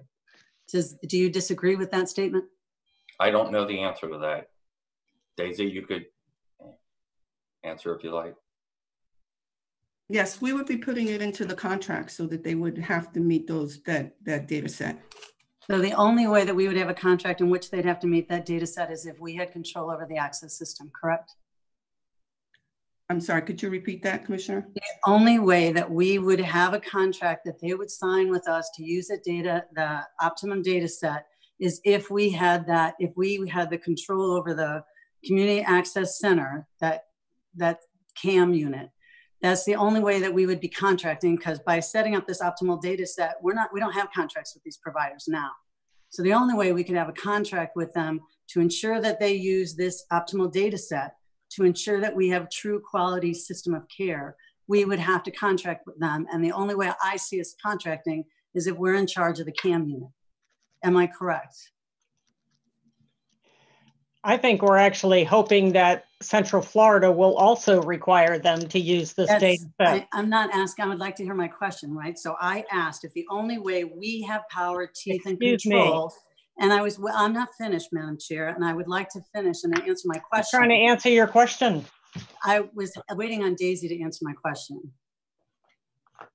So Daisy, go ahead. But so yes, we have we have a portion of that. We're about we we have contract we do have contracts that are about eleven million dollars that we put into the mental health system. Daisy, you can correct me if I'm wrong here. Um, and uh, but the idea is the design of that is not going to be ready to where we can then do the contracting. You saw the performance-based contracting piece was one of those final elements after we collect that data. And so we would use that information to design those performance-based contracts. So yes, we can incorporate that into future contracts. We would hope, though, that it would be done in conjunction with Central Florida Behavioral Health, um, which would, you know, I think everybody's in, in agreement in concept on. Um, but those are the types of details that need to be worked through. So I, you, you said that we would have contracts with them where? Because I'm looking at the whole presentation that Lourdes gave us. Nowhere in this presentation does it say anything about doing contracts on an optimal data set. And I don't know where you came up with that. I don't know where that came from. Daisy, Can you- put your, you can put your slide back up. Daisy, where does it talk about the performance-based contracts? Let me just grab that. It is under um, the third phase, performance-based contract, January through March. And that's where the contract structure would be determined to tie in the data sets as well as the implementation plan for the performance-based contracting with the And, and the reason reason that's important is right now we're we're just simply receiving outputs. You know, right now we receive that they process so many people, and um, but those aren't outcome based. And so we've really so that data analysis phase is really getting to where we're talking about community impacts, community outcomes, individual outcomes.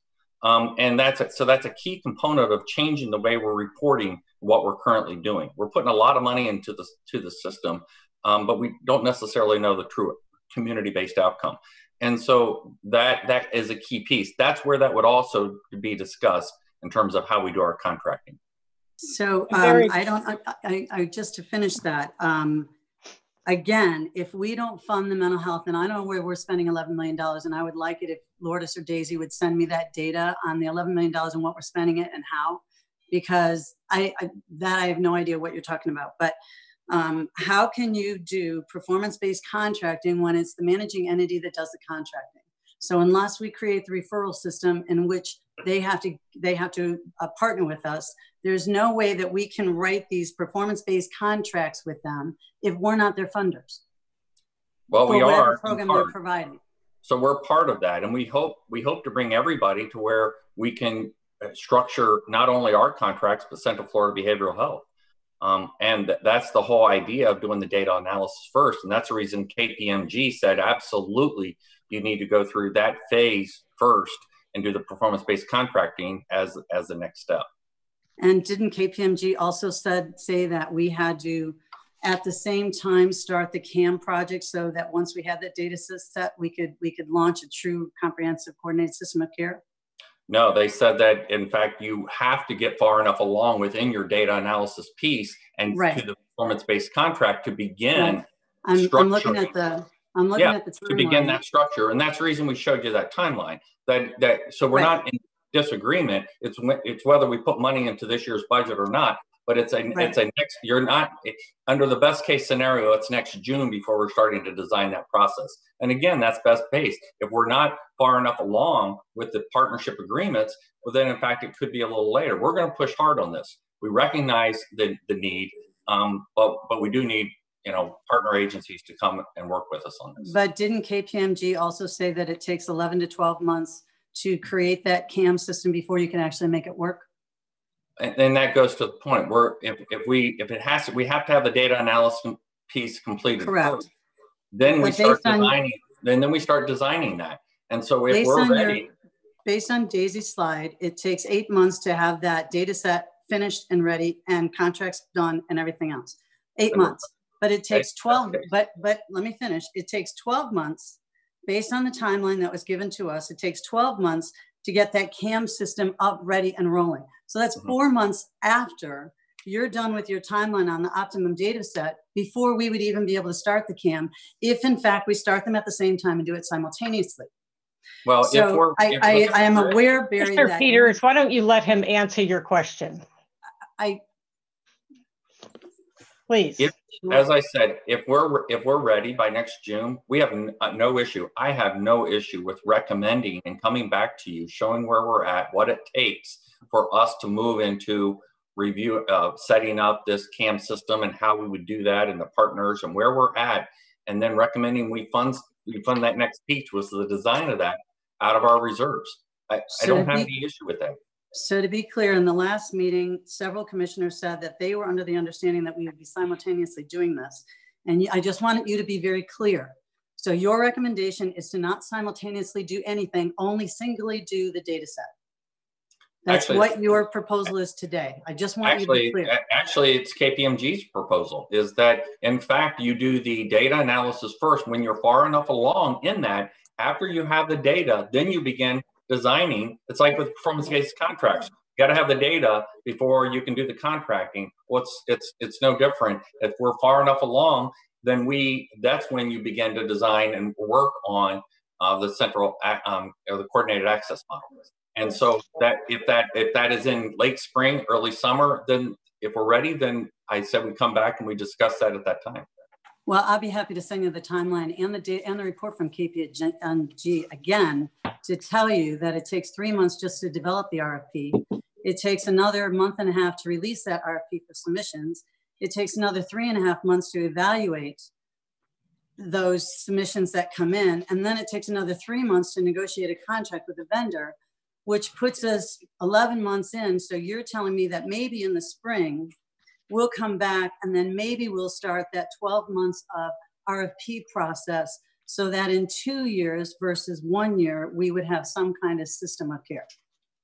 I just want to be clear because I'm reading the KPMG report, it's right in front of me, and I'm not making this one up, Barry. You said they're recommending that we do it after the fact. That's not the case at all.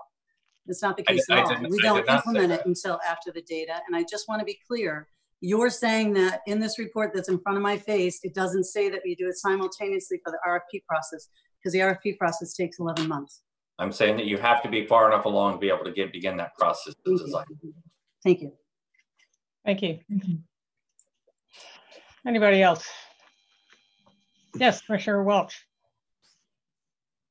Thank you, Madam Chair. So in, in reading all of this information, a couple things came to mind. I, I, think most of us or all of us are meeting with FAST, and I had a meeting with them yesterday. Um, and I was frankly surprised. Um, you know, they were stating that there was a, this this um, Pinellas behavioral health system of care model that was out there that uh, they had a data set already. And my response to them was, you know, we've had several public meetings and workshops. Um, I think one was at the Lealman Exchange. Uh, and from what I understood, the mental health community was on board with this. And just as Barry said, it's almost like you need to build a foundation before you build a house on top of it. And having this optimal data set is the first piece. And again, we had our meetings are public, and I didn't hear anybody calling in from this group contesting or saying, look, there's an alternate plan or anything. So I think there's been some some miscommunication, and and uh, I relayed to to Fast that you know where have you guys been during the last couple years when we've been talking about this, and uh, I haven't talked to Barry about it because I just received uh, you know I said send me this proposal that you're talking about, and it's it's much different than I think our direction is. For example, they're talking about a central receiving facility we're talking about a model with multiple doors around the county. Um, it's in the consultant report. So um, my question is, tell us what this Pinellas behavioral health system of care is and what their proposed model is. And is that, are the providers on board with us in the direction that we're going? I know that's a lot, but I just received this email uh, late last night after I met with FAST.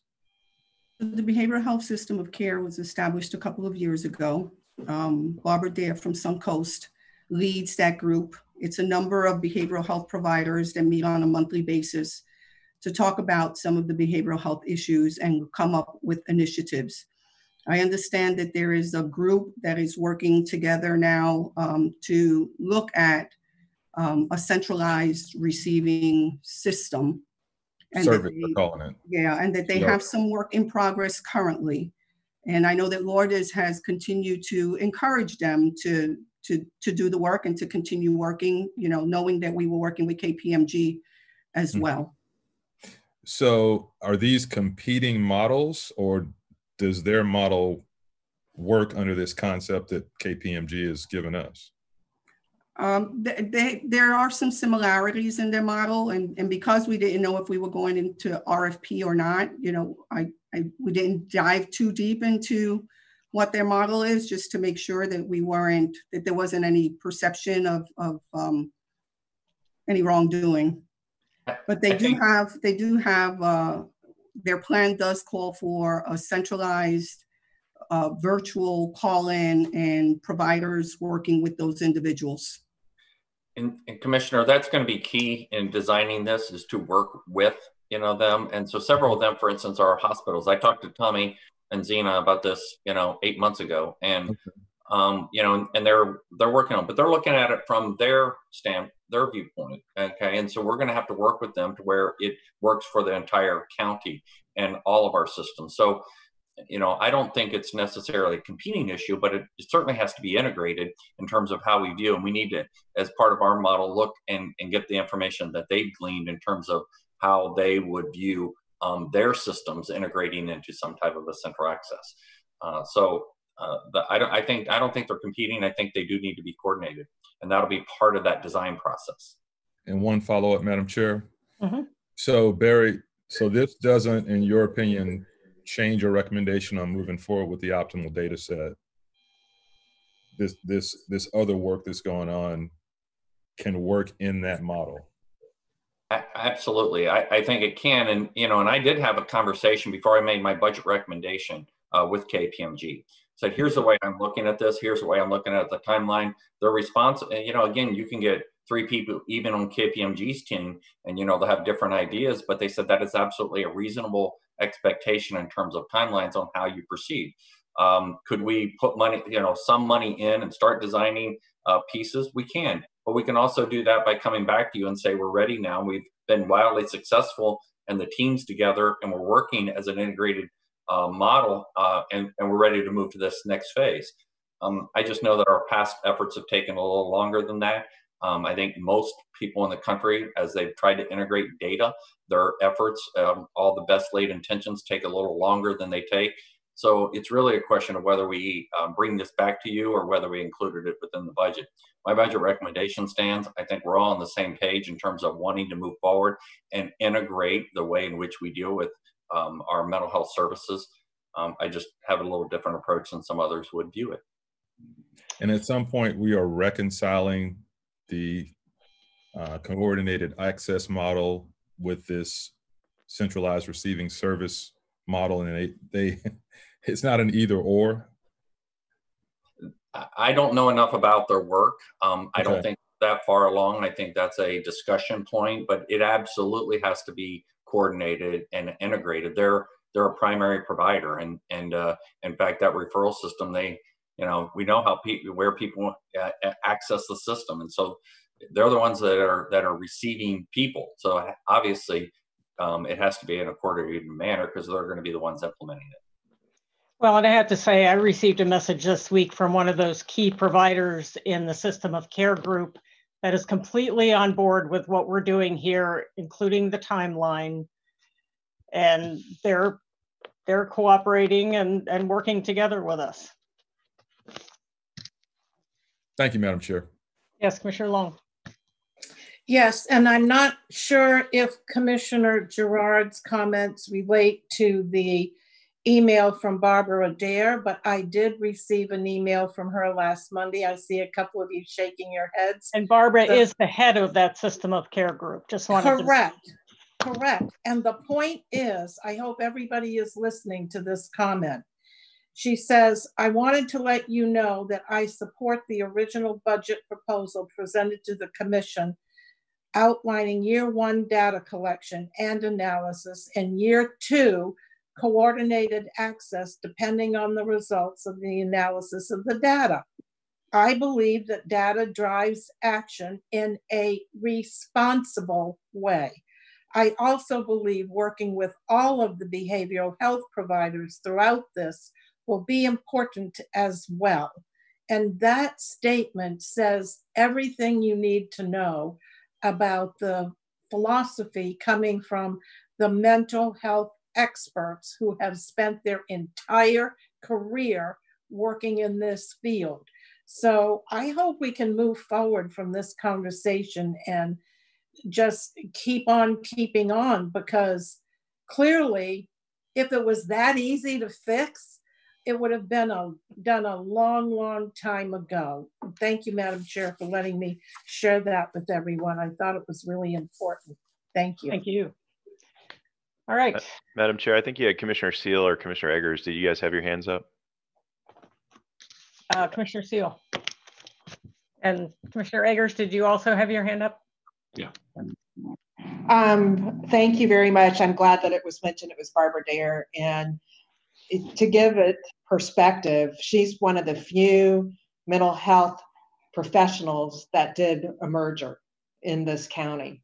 And if you ever talk to her about that experience, she said it was very, very difficult to bring it about and to make it move forward. I highly respect Barbara. And if she has sent us an email to this um, intent, and I also received it as well, I believe that we are moving forward in the most professional and expeditious manner possible. And I also want to commend the chair how many years of experience did you have in the health and human services arena? Uh, 30 if, if anybody has some expertise, it is our current chair. Thank you. Thank you. Commissioner Eggers? Yeah, just uh, real quick, uh, just looked real quick to make sure I wasn't muted again. Um, that um, the system of health, system of care group, um, if you go to their meetings, you realize that there is some degree of coordination and, conversation and planning and working together. And yet, even after all these years, there are still, you know, conflicts or differences or issues that come up. So, to me, uh, I was trying to think about it from a little different angle. And, and Barry, maybe you can comment on this. That I guess it's the million dollars. If we invested the million dollars for the start of that phase two, that next that next part, what is it we're getting with that? Where does it actually start to work in what what arena? And what is the downside? I think you you you talked about it a little bit this morning already, but I'm just trying to look at it the other way. So let's say we go ahead and do, say, yeah, that's we're we're doing it. We're still not going to do it at the same time exactly, but if we did, what's the downside? What are we doing other than perhaps causing a few more friction, a little more friction before we need to? Just your thoughts. Well, there's no there's no downside. The issue is we need to be in a position to have the community partners together to move forward on a project like that. And so that's going to happen um, whenever it's ready and we're far enough along. We've got to get through our data analysis piece. We've got to see in terms of how people are um, working. And I think the performance based contracting piece that we discussed earlier, that's going to be a very difficult piece. Um, and and I and that really goes to the heart of the data analysis and why we're doing that.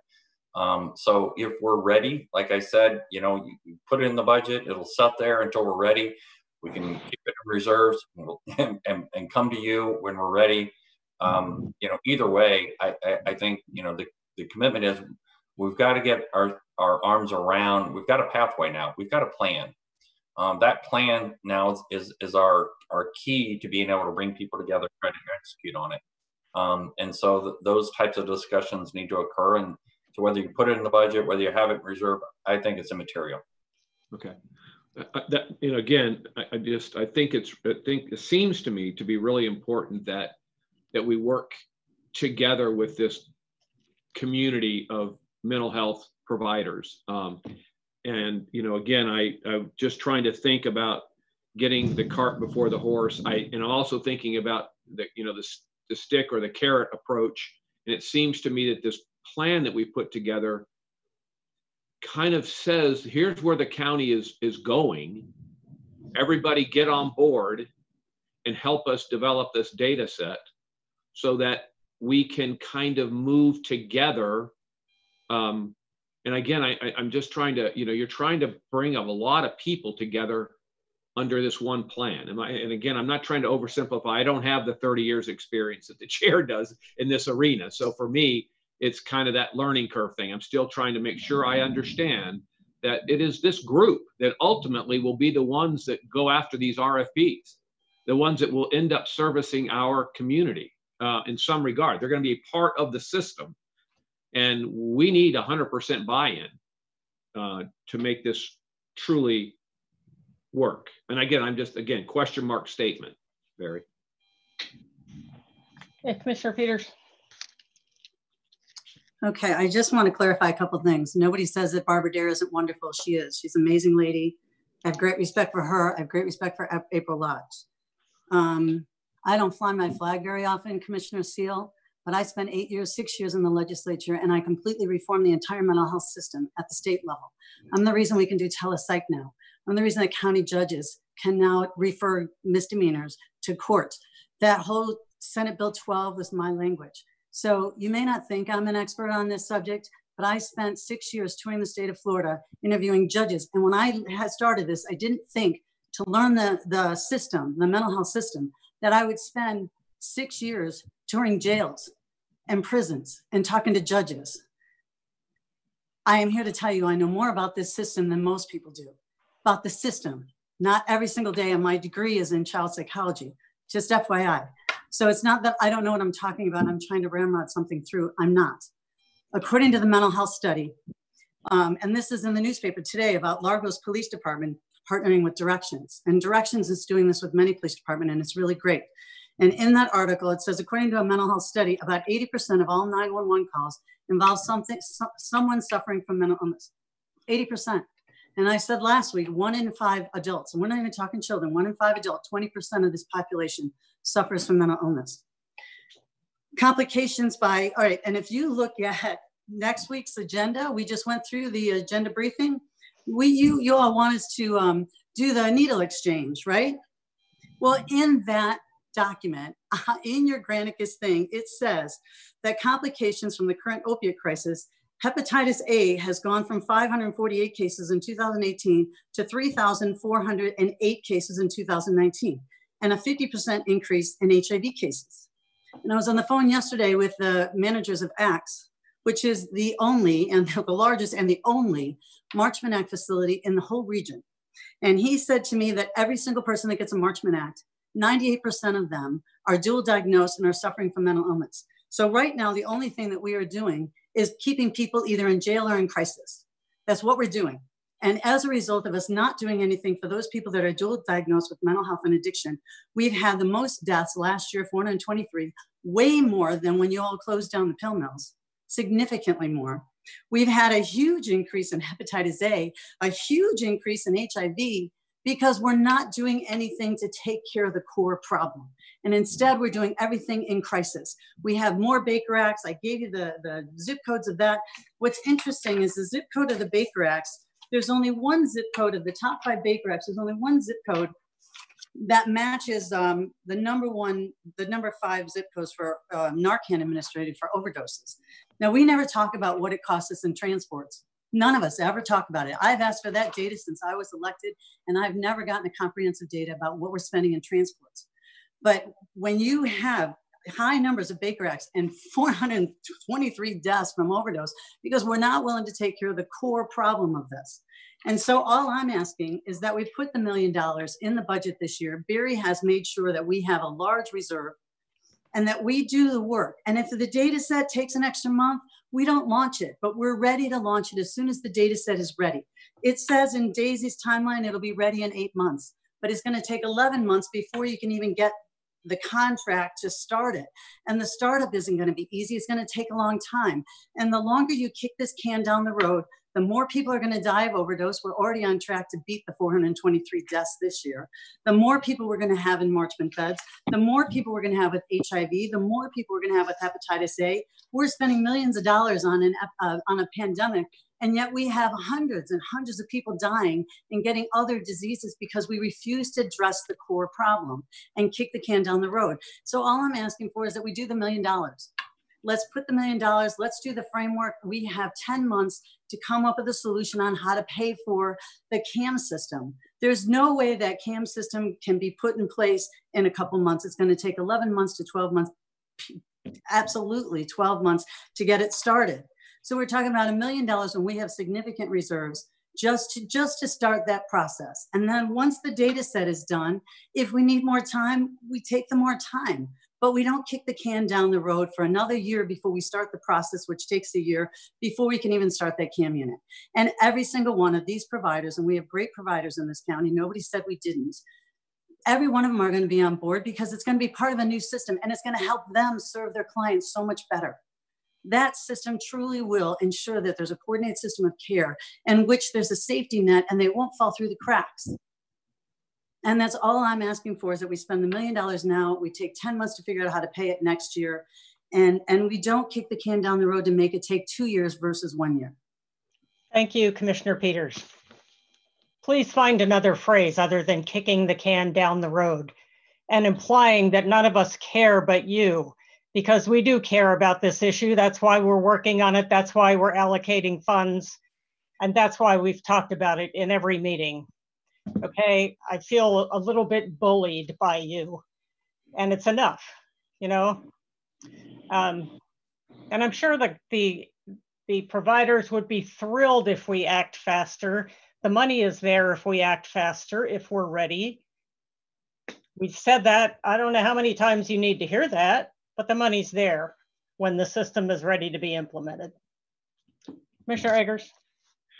Um, yeah, I, you know, I'm the kicking the can down the road implies that for me that nothing's being done. Um, so I, I, you know, again, I think that's not the case. I appreciate again the passion to get this thing moving. I think I can look at seven commissioners right now or six commissioners, and I, I think it's really important for everybody what I had asked a minute ago, Barry, and you said, well, there is no downside to starting um, earlier so that we could do some of the work in parallel. I wanted to make sure that that's the case. If that's the case, uh, maybe we don't get all 11 months done. Maybe we only get six months done because at some point that that next piece needs direct interaction with our our partners. I, I, I don't necessarily understand that detail, but if we can save some time on the back end by doing some work parallel that does not create animosity or, or problems with people, then I mean, I, I don't know why we couldn't work in parallel. Now, on the other hand, if working in parallel presupposes and presumes certain outcomes and it upsets the apple cart and sets things back for when we do start that second phase, then then that's a problem. I was just trying to understand, you know, what part of that plan could we get going that is kind of a pre presumes that we're going to get to a point that data set and data information we've got all of that. What can we have done if not the whole saving of 11 months what can we do to kind of move that in parallel? Do we have the resources? Do we have the people?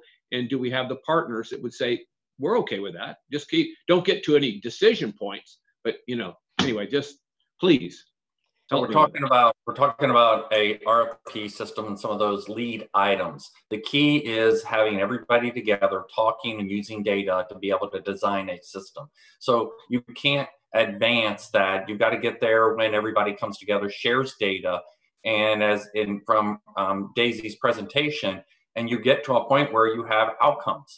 Um, it's going to be those outcomes. Until you have that, you really can't design what you're trying to achieve through the coordinated access model. And so it's going to be that that's going to be the key piece. So if that occurs in April or that occurs in July, that's going to be key to being able to uh, begin that next phase. We're going to have staff on board. Part of the recommendation that we lost track of is we're dedicating two staff people to focus strictly on this issue.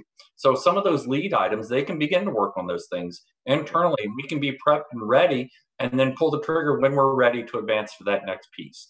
Um, okay. So I don't think we're slowing anything down. I think it has to occur as it occurs, and, and the partnership needs to be there. And and I, I look forward to that. I think that we have a lot of people that are uh, willing and uh, wanting to see us move into a more coordinated manner, including our hospitals and uh, and providers. But that it's going to be when we have when we've advanced enough to where we can begin to design that next phase will will be when that occurs. So internally, we'll be going down that path over the next year as well. Uh, and at some point, it'll become a, a, kind of a, a, community effort, partnership effort to establish the RFP. So we might get started down that road without expending the million because that's internal and get that going. And then at some point, if we're ready with the data, we can kick in that extra funding to help us get through that phase. That that's correct. To design an RFP, you got to tell them what you're looking for, and you've got to have agreement in terms of the outcome and the design. And so we've got to be far enough along to be able to do that. Um, that's what I wanted. That, yeah, so that could occur sooner or could occur later. Um, okay, that's what I wanted to know. And and the fact that we might be moving internally a little bit to lay some groundwork for that discussion, I think is helpful. Might cut down on that 11 month, might cut a couple months off of that when we're ready to kick in that next piece. So I appreciate your taking some time to help me through it. Thanks. Okay. Okay, right. the next item we had is there was a question from Commissioner Eggers, and I asked Jim Fogarty to go over um, the data-driven exercise that they used for EMS um, seats and how they do that analysis and how that plays into the tax levy. Very pertinent to the budget. Um, and I know Dave, you uh, met with them, or Commissioner Eggers, sorry, you met with them, and um, if we can, um, but Jim is on the line and, and yeah. can certainly go over uh, that process.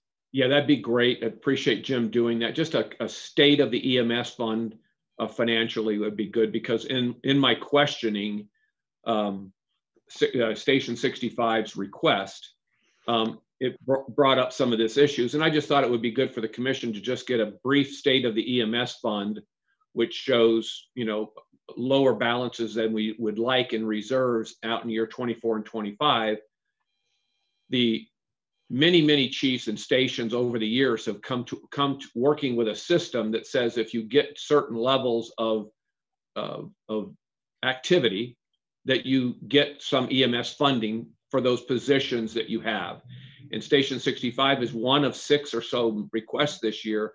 Not all of them are, are money requests, but six or seven requests for action based on what they presume um, is is is enough activity and enough uh, enough level of activity.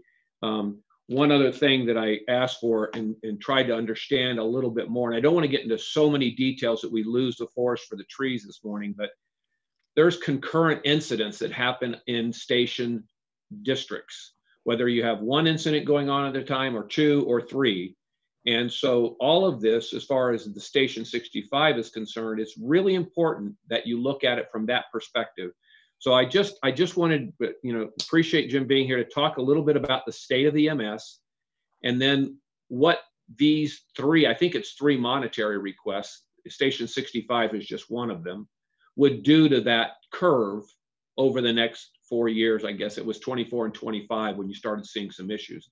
So thank you Barry, for putting that together. And Jim, thank you for being here this morning. Well, thanks, Commissioner. Good morning, everybody. I, you know me, I love talking about emergency services and EMS, so uh, I'll try to be brief. Uh, Brian, I'm going to ask if you would uh, bring up uh, the spreadsheet that was provided by the Office of Management and Budget. But before we get there, I wanted to just quickly review how um, the behind the scenes system works. The uh, the EMS system uh, contracts with the local fire districts and fire departments to actually provide the first responder service. And you, those fire departments and districts really have multiple roles that they uh, perform. One of them, very important role, is EMS, but they also have fire suppression and prevention and hazardous material and tech rescue. And um, to the extent that the district is responsible providing all those services, you know, they have to find ways within their budget to fund them. But the, to the extent that they provide the emergency medical part of that, um, that's a function of the EMS fund that we're going to review here in a second.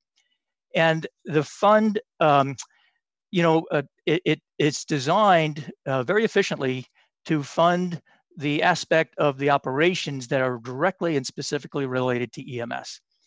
And for about five years, uh, there's been a group called the Data Driven Focus Group that gets together monthly, and they look at the data and they uh, and they uh, they monitor the system and they decide um, just how is the system operating and are changes needed to the system. And that group operates from really some fundamental tenets of um, of operations. And one of those tenets is that the analysis will be driven by data.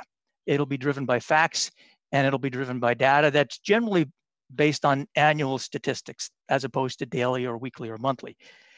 It's um, designed that it's applied consistently and fairly over all providers.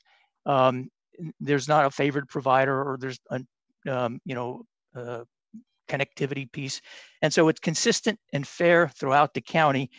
And then finally, that it needs to be sustainable financially for the long term. And that really has worked very, very well, at least for the last five years, in monitoring and operating the system.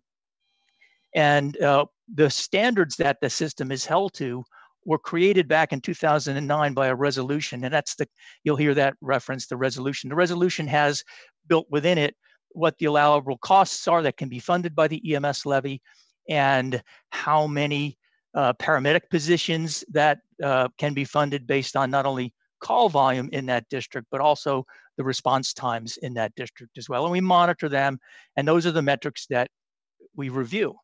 Uh, and as we prepare the budget, uh, usually in December or January, we look at that and say, okay, what if anything needs to change? And um, and that all happened uh, this year.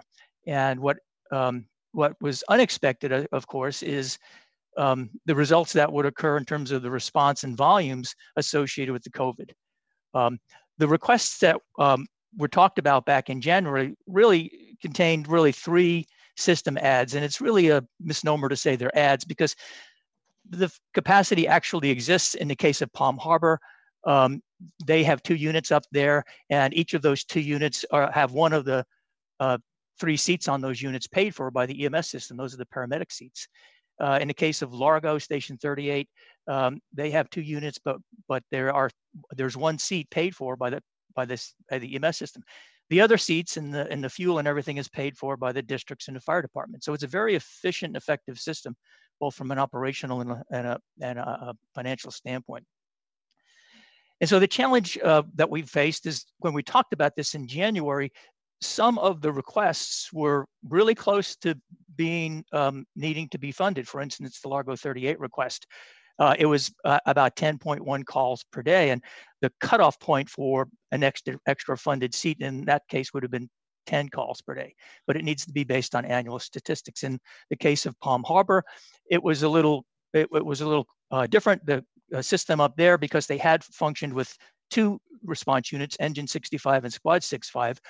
They talked about a different strategy, and we agreed to and accepted the different strategy would be to put a standalone two-person unit in that location and see what would happen based on the data and the facts, which in January of 2020, this year, uh, Medic 65 was put in service. And so really that's the way the system operates, and I don't want to get too long-winded about it, but I would like to turn your attention to the to the, to the spreadsheet that we have. This uh, was sort of a what if analysis when we started the budget proposed, and that's before you, um, has um, no additional um, components for this fiscal year it's not that those fiscal those uh, ads weren't considered. It's just they were you know uh, held to the standard of consistently applied across all of the districts, and that it be financially sustainable, and that it would be based on annual statistics. At least for two of the three of those uh, those ads were still um, subject to question. My, my, guess is next year they probably won't be so questionable. We'll have an annual set of statistics, and we'll we'll know one way or the other. Uh, but we did a what if analysis based on um, the uh, conversation from last year, uh, last meeting. Well, what would happen if we actually did those ads and what would happen to the fund? And this is what you see in front of you. This is the spreadsheet of that what if analysis as if the budget as proposed were adopted. Um, Brian, if you would go to the uh, chart that's associated with this that says no enhancement chart. And what you see um, in this in the next two charts, you'll see in terms of the revenue growth, which is based on certain growth assumptions, um, and what you'll see in terms of the fund balance, which is based on the requirements of approximately 25% uh, uh, end funding balance of the uh, operational expenditures of the system. You'll see the the the the revenue um, doesn't change between the next three graphics, but the expenditure and the fund balance does. Again, this is the proposed budget as if there were no enhancements. And Brian, if you could go to the next, which says the 100% enhancements, uh, the, the, the, chart associated with that, 100% enhancements. You see, if we were to propose um, adopting 100% of the enhancements, meaning an additional paramedic position for uh, Palm Harbor District 65 and an additional paramedic position for Station 38 in Largo, and an additional administrative position for Pinellas Park. Uh, those three ads would uh, add about 1.27 million dollars expenditures to the fund. And so if we if we put that in to the spreadsheet, this is what, what it would look like in terms of the uh, growth of expenditures and its effect on the fund balance over the course of the um, six-year period we look at that. And you can see in the outer years, this certainly next year we could afford it. Um, and maybe even the next year we could afford it. And maybe the assumptions that this financial plan is built on, which are very conservative assumptions, perhaps they're not, um, you know, they'll be updated and they'll be better, or perhaps they'll be worse. We there's some uncertainty built into this. Um, but this would this is what it would look like if we adopted all of three of those um, ads um, and what the resulting fund balance would look like. And this is the conversation that uh, Commissioner Eggers and Craig Hare and I had uh, a couple of days ago. And you see that would result in a, a reserve fund balance uh, falling below 25%, somewhere around fiscal year 24. And Brian, if you would go to the, the 50% chart, this is the exact same thing, but if we took a different strategy, which we've done in the past when fiscal constraints came upon us where we said, well, what if we adopted only half of them this year and did all of them next year? What would it look like? And you, you see this, again, this is the financial view of what the plan, the fund would look like if we did that. Now, again, I want to remind you that Palm Harbor as a district and Largo as a city fire department, they've already decided to put these paramedics positions in place. So it's really a matter of which fund pays for these? Is it the city funds or the fire district funds that are paying for this system? Or has it risen to the level of the resolution requirements to where now it becomes uh, an EMS levy uh, commitment? Um, that's, that's what we uh, talked about and I'll entertain questions you might have. Um, Jim, I was wondering if we could get a copy of those charts that you just showed us. so Absolutely. we can stare at them for a while. Uh, Commissioner Eggers, did you have? Yeah, just, uh, you know, again, um, you know, it seems like for some reason, you know, you know, number of, number of trucks, number of ALS, ALS uh, provider in a system or trucks within a station, um, concurrent incidents. I know that I've, I've gotten, had some conversation with, uh, with the, uh, one of the commissioners in Palm Harbor about, you know, whether you have one incident, two incidents, or three incidents, and how that really plays into the importance of having three units in the Palm Harbor. The numbers themselves, the call volume numbers are, are what drive or, or it's driving that. And so I just want to make sure that you see that those those funds. I think they the goal of the fund is a 25% reserve, so you can see whether which whatever scenario, and he showed you three different scenarios. You're going down in each of the scenarios. It's maybe going down a little faster in one or the other. Back in 2009, as he said, they created this new system with benchmarks or hurdles that these folks have to get over so that they get some additional EMS funding. The thought was that they had gotten there. The thought was, I'm sure, that the other two requests had gotten there, so therefore funded. Um, it was that, you know, it was kind of made that simple. Uh, you know, Craig is, uh, or Jim and Craig have tried to say that it's it's more than just that. It's about the numbers. We need a year to look at it. This medic unit that they put in place didn't happen until January, for instance, and this will be a weird year to get numbers because if you remember back in April and May, the numbers were flat almost, and not flat, but they were very low because people were staying home. And then, of course, things have started to change a little bit. So those numbers are going to be a little suppressed. So I hope when they do the number looking at next year, they remember that because um, so I think the group felt that this is a this is they had met the they had met the demand they had met the safety. In fact, they feel so strongly about it that they have the three organiz- or three units funded with the help of two positions from the EMS group. Their argument is that a third position is warranted, and um, I'm still going through it to understand it. And I and you know part of me says we ought to do it. The other part of me says there's a system. You know, Jim said that we need a year to look at the information, the data. I get it. Um, but I think we just have to, you know, stay true to this EMS fund that we created. And um, again, I, I don't have the historical perspective some do, but you know, if you meet that volume and if you meet the the response times, or if you don't meet the response times, you need some assistance from that fund. Especially, uh, it's obviously for medical calls. And so really that's how the whole thing started. And then I, you know, started learning more about the EMS fund, et cetera. So I don't know how conservative those those numbers are in the EMS fund. I said, well, maybe we should just go for half a seat for the next year. And if the numbers get worse, that half seat may have to be pulled back. And if they get better, the other half seat can be added to your, uh, assuming that the numbers are justified. And um, their their argument is that they were. The county said it was.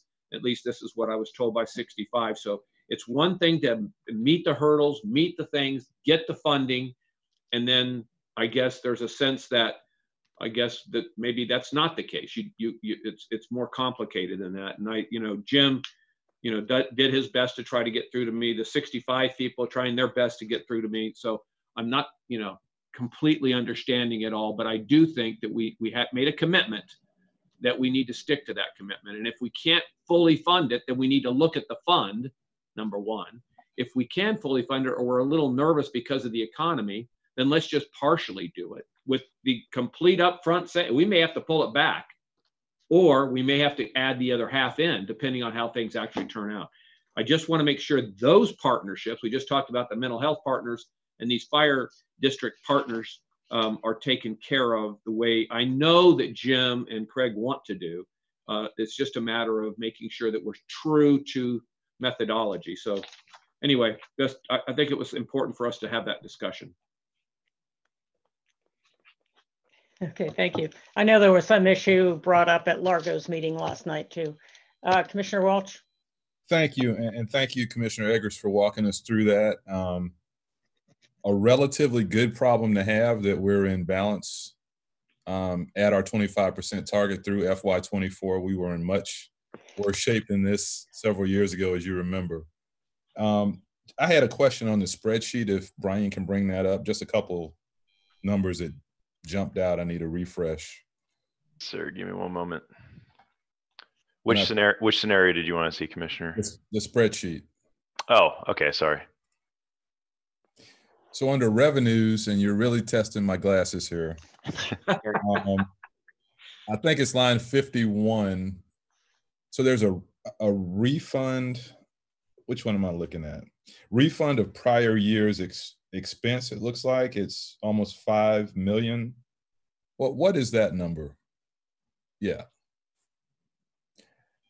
And I thought I Um, saw Bill on here, so, or, or Yeah, Jim. b- maybe, maybe Bill would be better uh, to answer that question. I, I think I know, uh, but I don't know that I know, so maybe I'll default to Bill. Bill, if you don't, I, I'll give it my best guess. And the second one is two lines down, that COVID-19 CARES Act of 1.6 million. Just want to refresh on that. Was that a different bucket of funds or is it, was it in the 170 million bucket from CARES? Think we lost Bill. I've got Cecilia coming on too, if we need to see. Well, let me, let me try to, let me try to uh, answer the second question first. I, I believe that was a second and specific uh, bucket of funds that was uh, uh, relegated to um, emergency services. Specifically, uh, that's associated with the acquisition of PPEs and some other things that the high levels and high volume of protective gloves, gowns that uh, Right. we've been forced to purchase. I believe that's sort of a sep- separate bucket uh, associated with that. And to answer the first question, Okay. it's my understanding that every year annually we do a reconciliation with all of our providers. And uh, of course, our budget and what we propose they'll spend uh, isn't known until after the year's over with. And as we reconcile the budget to actual, there's uh, always a, a give and take from a from a, um, a county's perspective. Uh, sometimes uh, they budgeted too light, sometimes they budgeted too heavy. Uh, but as we reconcile, uh, generally there's money due back to the fund from the various fire districts based on the budgeting process. And so I understand that's what that line item is.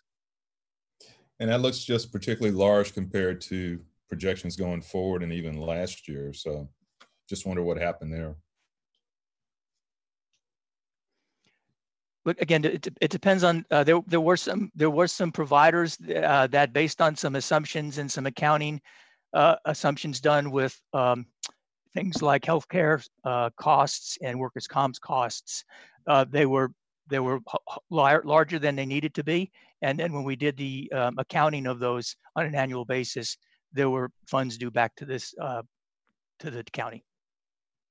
And there are, there are some specific providers. Each year, one provider has a little bit higher than others, and that's really usually a function of the, of the budgeting process. And, and the city budgeting processes are usually uh, a delayed a month or two from the county. So that, so as we propose the budget, it's, it's usually a month before the cities are proposing their budget. So the assumptions, although conservative, aren't always accurate. So that's 5 million and you're projecting about 360,000 going forward. So I was just wondering if there's one particular um, issue that drove it for this year. And I see Bill's on here. Maybe, maybe he remembers, but that one just kind of jumps off. Commissioner, I don't recall what would have driven the uh, larger number uh, that's unusually high for the estimate for this year.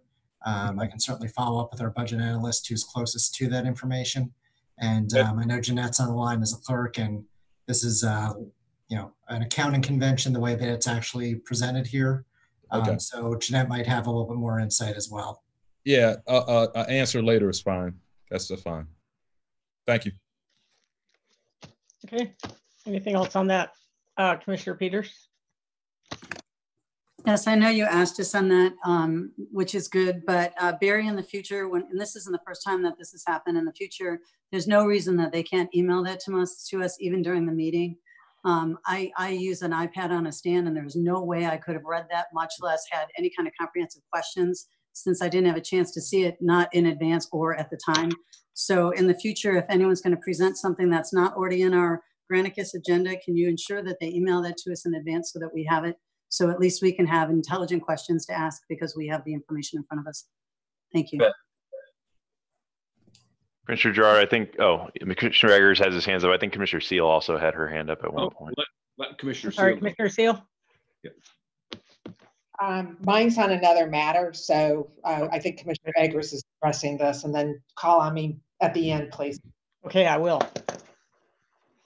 Commissioner Okay. Eggers? So, so my understanding is, is that we, the funding of this is not a problem, that we can do it. There is some concern in years in 24, 25, and 26 at varying degrees of, of, of, of, of the problem under conservative anticipated, you know, very conservative uh, um, assumptions. So cities and unincorporated county areas that have this fire district and others are also anticipating millage issues over the next two or three years. One way or another, either the, either the, the residents in, in the Palm Harbor case or in Largo, they're going to pay for it through their millage or they're going to pay through it through the EMS or they're going to pay for it somehow. Because from what I understand, the three positions that are being asked for, it's felt strongly enough by those folks that they have it in place, whether it gets funded or not. Now, if it gets so bad on the funding, they may have to back out of one of those units.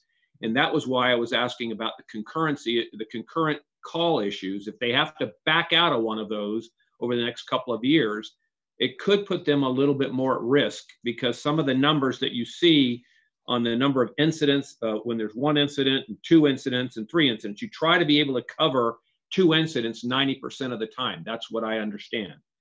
And that's critically important. But if they back have to back out of one of these systems and they get a third call, it, they may have a they may have problems doing it. So I just want to make sure that the, the only question I had, Jim, before I make a, a, a, a, a motion, if you will, but I just want to give direction, is if we do this on the methodology that you're saying that we, we're, go, we're maybe going against, and I, I don't want to go against methodology. I, I want to make sure we're doing it and being fair. But are you telling me if we did these three at say half, that we we are disrupting our system of evaluation uh, as it, it relates to fairness with all of our partners?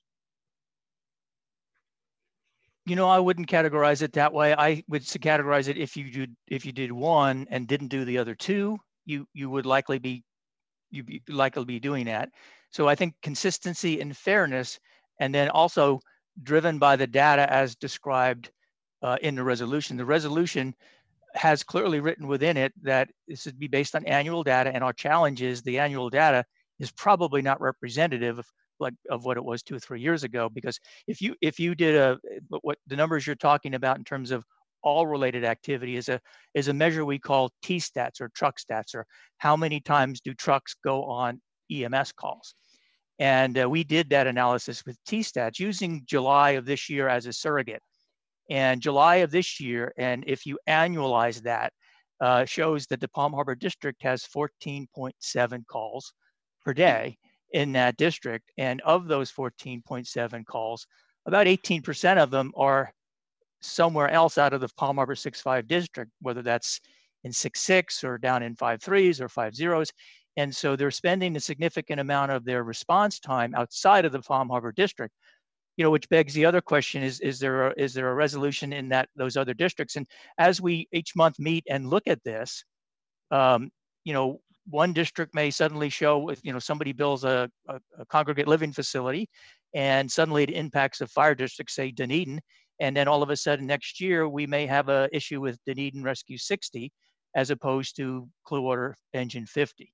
And so that's, you know, that's the operational piece that Craig and I deal with each month. Um, but to answer your question, it wouldn't necessarily violate it unless we did one and not all three. And it, we would have to acknowledge that we're not doing it based on annual statistics um, I, you know, from my perspective, you know, I don't want to do get any consensus today because there's there's not, not everybody had information ahead of time, but I would like to revisit this before we go to the budget sessions in September at some point, just to see. I would like to consider the three three positions at half, knowing full well that you know if things continue to go as badly or worse, that those may have to come back, or if they don't meet those conservative uh, measurements that we go forward with the other half in the next year. Uh, I think that's something that we ought to consider, and I'd sure like to get uh, the, my fellow commissioners' thoughts on it after they've had some time to absorb and ask their own questions of staff. Thank you. Appreciate that. Uh, Commissioner Long, that on this issue? Yeah, no, thank you very much, Madam Chair.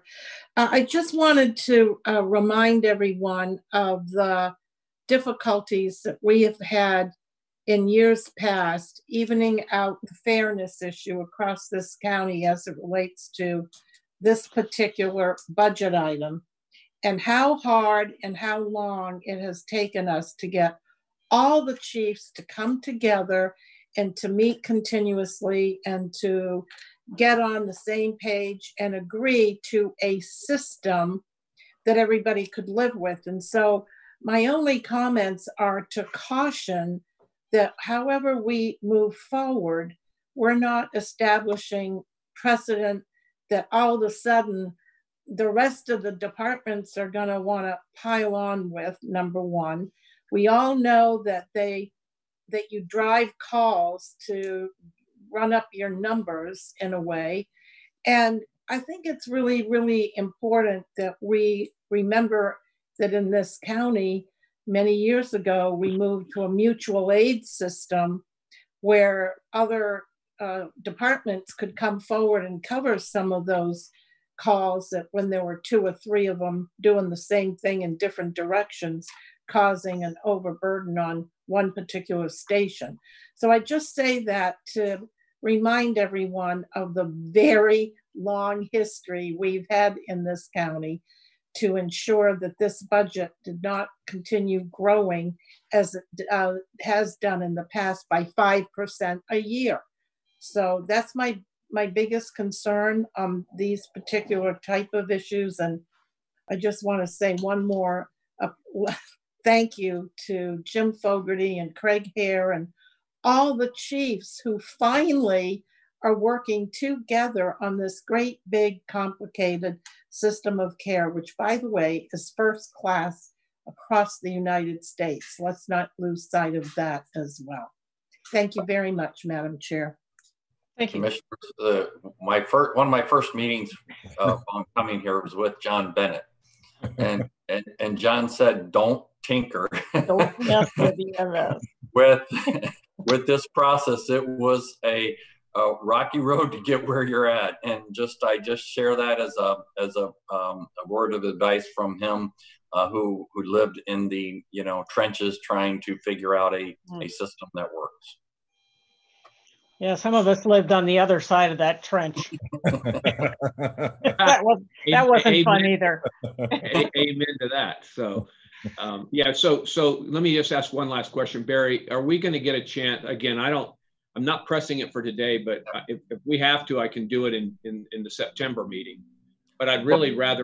I'd like to revisit this for one more conversation. I know how those budget meetings go in September. They're very much pretty, you know, let's just kind of get it done. We all the work leads up to those two meetings. So how do you want me to handle this item at future, you know, to be considered in the future? If you if you want, what I'll do is um, based upon the conversation today, I'll have Jim kind of outline that that process that they use, how they made the determination that they made. We'll send that to you in advance to Commissioner Peters' point, um, and then we'll put it on the agenda when sure. we consider the budget in September because really it's just coming out of fund reserve. So if you choose to do it or not, it doesn't really change the budget. Um, and so we can we can have that for for you at that time, and then you can decide. Yeah, and in fact, we I know we, we're now going to have a couple, three more meetings this month. Maybe we could just tack it on at one of those, oh.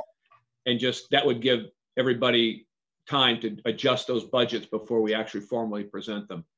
Okay. Um, and just you know, again, just get some additional questions from the commissioners, and and I'll have some additional opportunities to learn a few things as well before we get back together.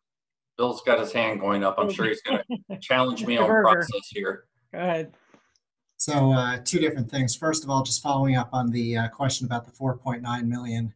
Um, that as well as the one plus million in FY19 actuals are actually driven more by a uh, different process that's in place through the state, where there's a Medicaid public emergency medical transportation program that allows us to get reimbursement for costs through that program. And that those extraordinary costs that you see there are non-recurring related to that program specifically. So that's what the nature of that particular revenue source. And that's COVID related? No, that is not COVID related. Separate. Okay. Correct. Thank you. Um, secondly, as far as the process goes, while we can certainly make changes during the September public hearings, Uh, if we need to do that, that will be disruptive from a uh, workload standpoint in that typically our process has afforded us the opportunity to have everything locked down by the time we get to the first public hearing, which means we don't need to redo the budget for the second public hearing. And while the dollars remain the same, the mechanics within the dollars are changing, and that drives a lot of changes within the actual budget document itself.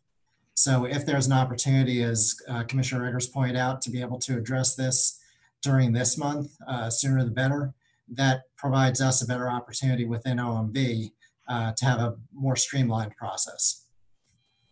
Yeah, maybe we could, thanks, Bill. Maybe we could bring that back in a couple of weeks, Barry. Yeah, that's what we'll do. We'll put it on one of the work sessions coming up. Perfect. Thank you. Thank you, uh, everybody, for, for listening. Thanks. Okay, great. Anything else on the, yes, Commissioner Welch? Just want to ask Bill one quick question before he signs off. If, if he's still there. Bill, you there? Yep. Sure am. So are you doing dual um, input on your budget still? Your new system and the legacy system? Technically, we're not doing dual entry. Uh, what we're doing is we're running them in parallel right now. So we're taking all the data that was in Hyperion and porting it over to Questica, the new budget software.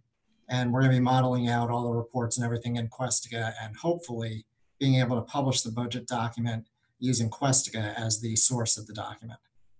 How's it going so far? We're doing well. Okay. Thank you. We're still too, we're, we're still far along to know definitively whether we're going to be able to pull that off. And, you know, it's good to have a, you know, a backup option. Absolutely. Thank you, sir.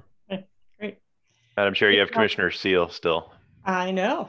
I was just going to call on her if, if nobody else. Had. Commissioner Seel, is this about the budget or something else? Okay. Yes, please. Um, I just wanted to bring to your attention, I don't know where it is at the present time, and I probably should have sent something out in writing, but I had a Human Rights Board meeting on July 31st, and that was right after the budget information session on the for the commission on July 30th. And um, during that meeting, um, it was um, brought up that there might be a possibility of a need to amend the human rights budget to include a digital accessibility coordinator position. So as you recall, we pursued about website accessibility. And so they've been exploring ways in which to address it. And so um, I know Barry was surprised and um, yes. and I think they're going to have some more discussions whether they can use it from Paul's current budget or whatever, but I didn't want you all to be surprised if Barry had to bring this forward.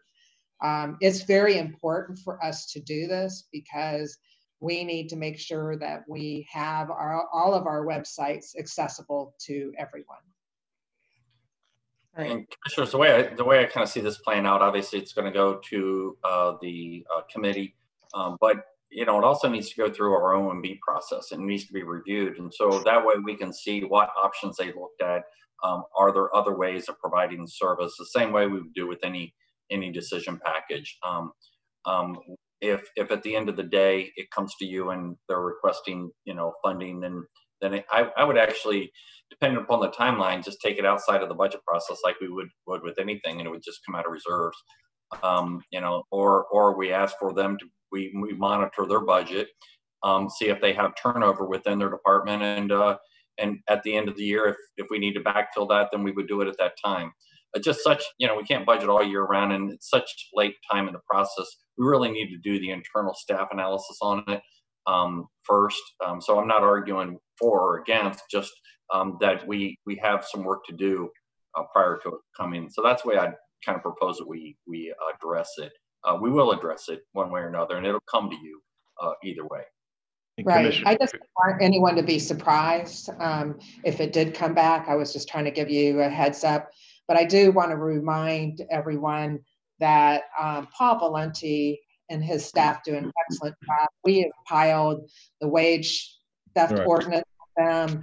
We they've done a lot of work in um, video accessibility and translation, um, just, you know, housing, you know, working with the city of St. Petersburg, taking over responsibilities from them without adding positions. So I really have to just commend um, Paul and his department. And then finally, I just wanted to, um, I mentioned this before, but I think our presentations on the budget this year, um, led by Bill Berger and all of the staff, and then the individual departments were excellent. I mean, they were very thorough. They were very um, comprehensive. I think we had a lot more facts in front of us this year than we've had in the past, and I just wanted to say thank you. And um, finally, the only other thing I'm going to say is um, this has always been a collegial body, whether people disagree or not. And I want to commend all of the colleagues for moving forward on important issues when it means the betterment of our community.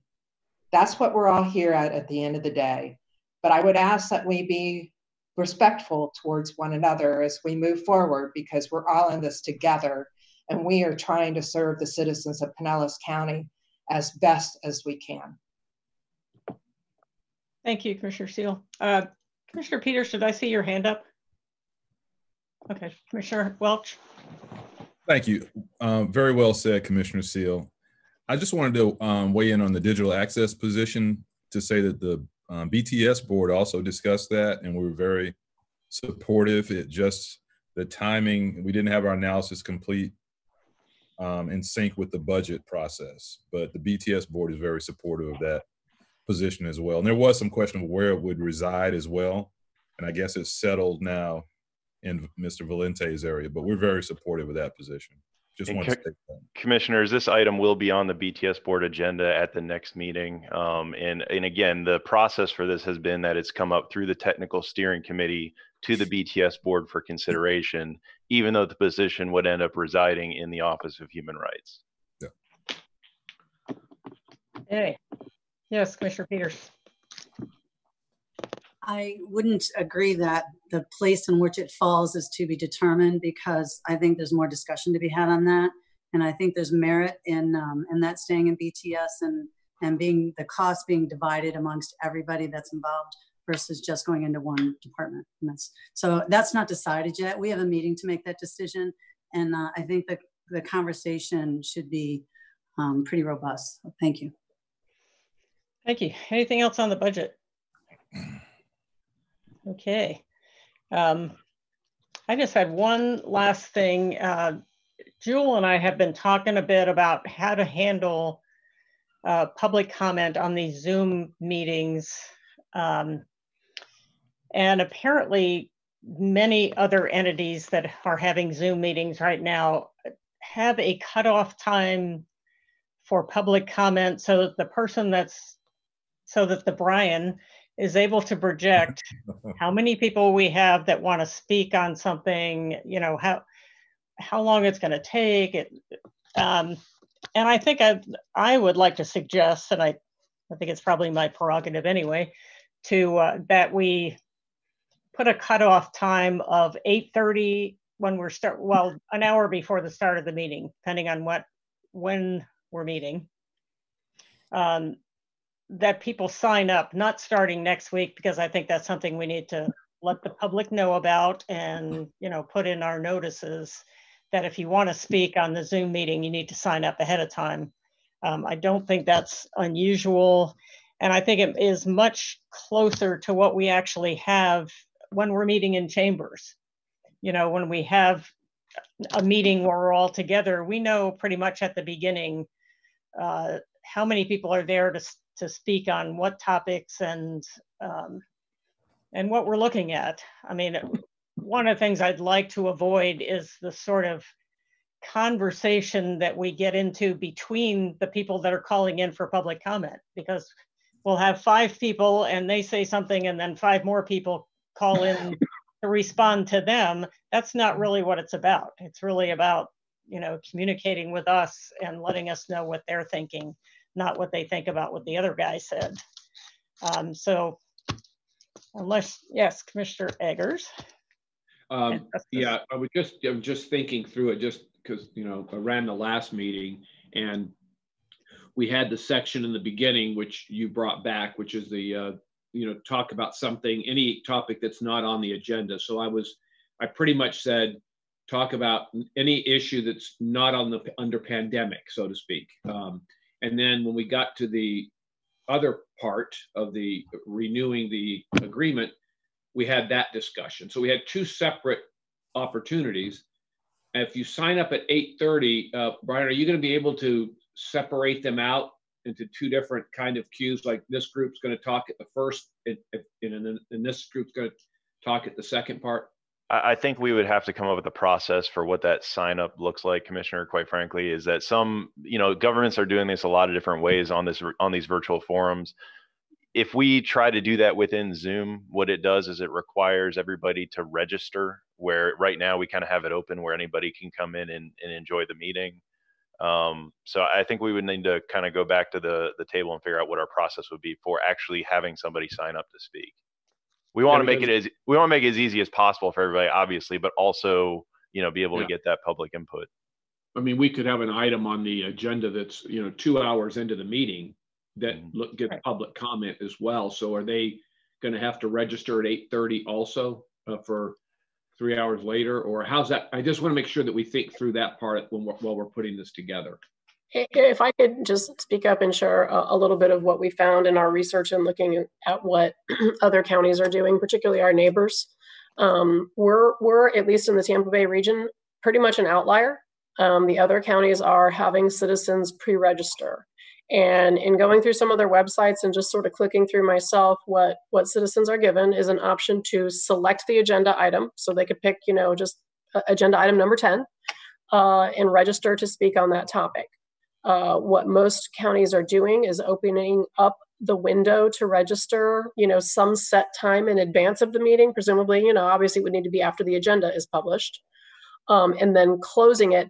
Many of the counties are closing it the day prior to give staff time to kind of sort through those things, similar to the cards that your communication staff gets. In talking with the chair, I think if we um, if we were to go this direction, I think that staff would need at least an hour to sort through. Um, I'll call them the electronic cards just for purposes of conversation, because this would be similar to the cards that communication is already collecting at your in-person meetings. Um, but this is, you know, again, something that the other counties are doing. I think it would help staff, certainly help Brian trying to manage the speakers coming in. I think it would help the flow of our meetings hopefully eliminate some of the confusion on the citizens part that we've seen in the past as to when should they be speaking you know what's the proper way to do it. Um, and we would put directions obviously on the website get um, you know word out as good as possible but hopefully bring a little bit of a better flow to these electronic meetings. And frankly they they could sign up to speak on every item on the agenda, God forbid. But they could do that. Um, what's happening now is that, you know, they'll ask to speak on the last item if they didn't get their word in. It's it's not it's just not optimal. Uh, Commissioner Justice, did you have something? Yeah, thank you, Madam Chair. Yeah, I don't. Um, I think that how you've done it in the past, where you had a cut off everyone in by, you know, if we start an agenda item at 9:30, and you say if you want to talk on this, you've got to, we're going to cut off input at 9:35 so that people can raise their hand or whatever they need to do. Um, I'm much more comfortable with something like that rather than you have to sign up the day before or by two hours before a meeting in the morning. That I don't know that that that kind of makes me a little uncomfortable. Just the feel of it. Just my two well, cents. I know, I, yeah, I know it's a change, and that may be a good idea if we, because that has worked the couple of times we did it, where we said, okay, the cutoff time is going to be um, five minutes from now. you know, sign up or be quiet. Um, that's yeah, okay. Commissioner Peters. So I, I don't agree with any of that at all. We had two, two callers today. Um, we haven't had a lot of callers in a long time, and typically it's when it's something really big or pressing. Um, and I have no problem having to listen for hours if we have to listen for hours. Um, the citizens pay our paycheck. The citizens put us in office. The citizens can fire us at the next election.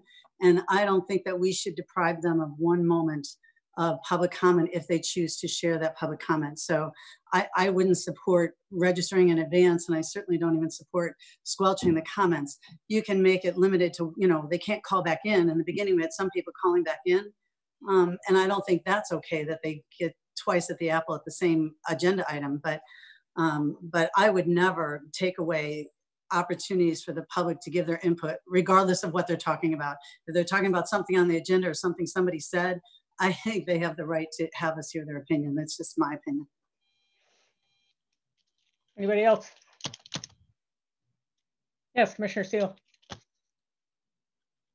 Well, maybe I, uh, I think perhaps the Commissioner Justice might have the best um, compromise possible, that it still allows the public to um, have their voices be heard. But when you as chair have said, we're going to, you know, 935, you have to sign up by that point, I think that's giving people adequate time.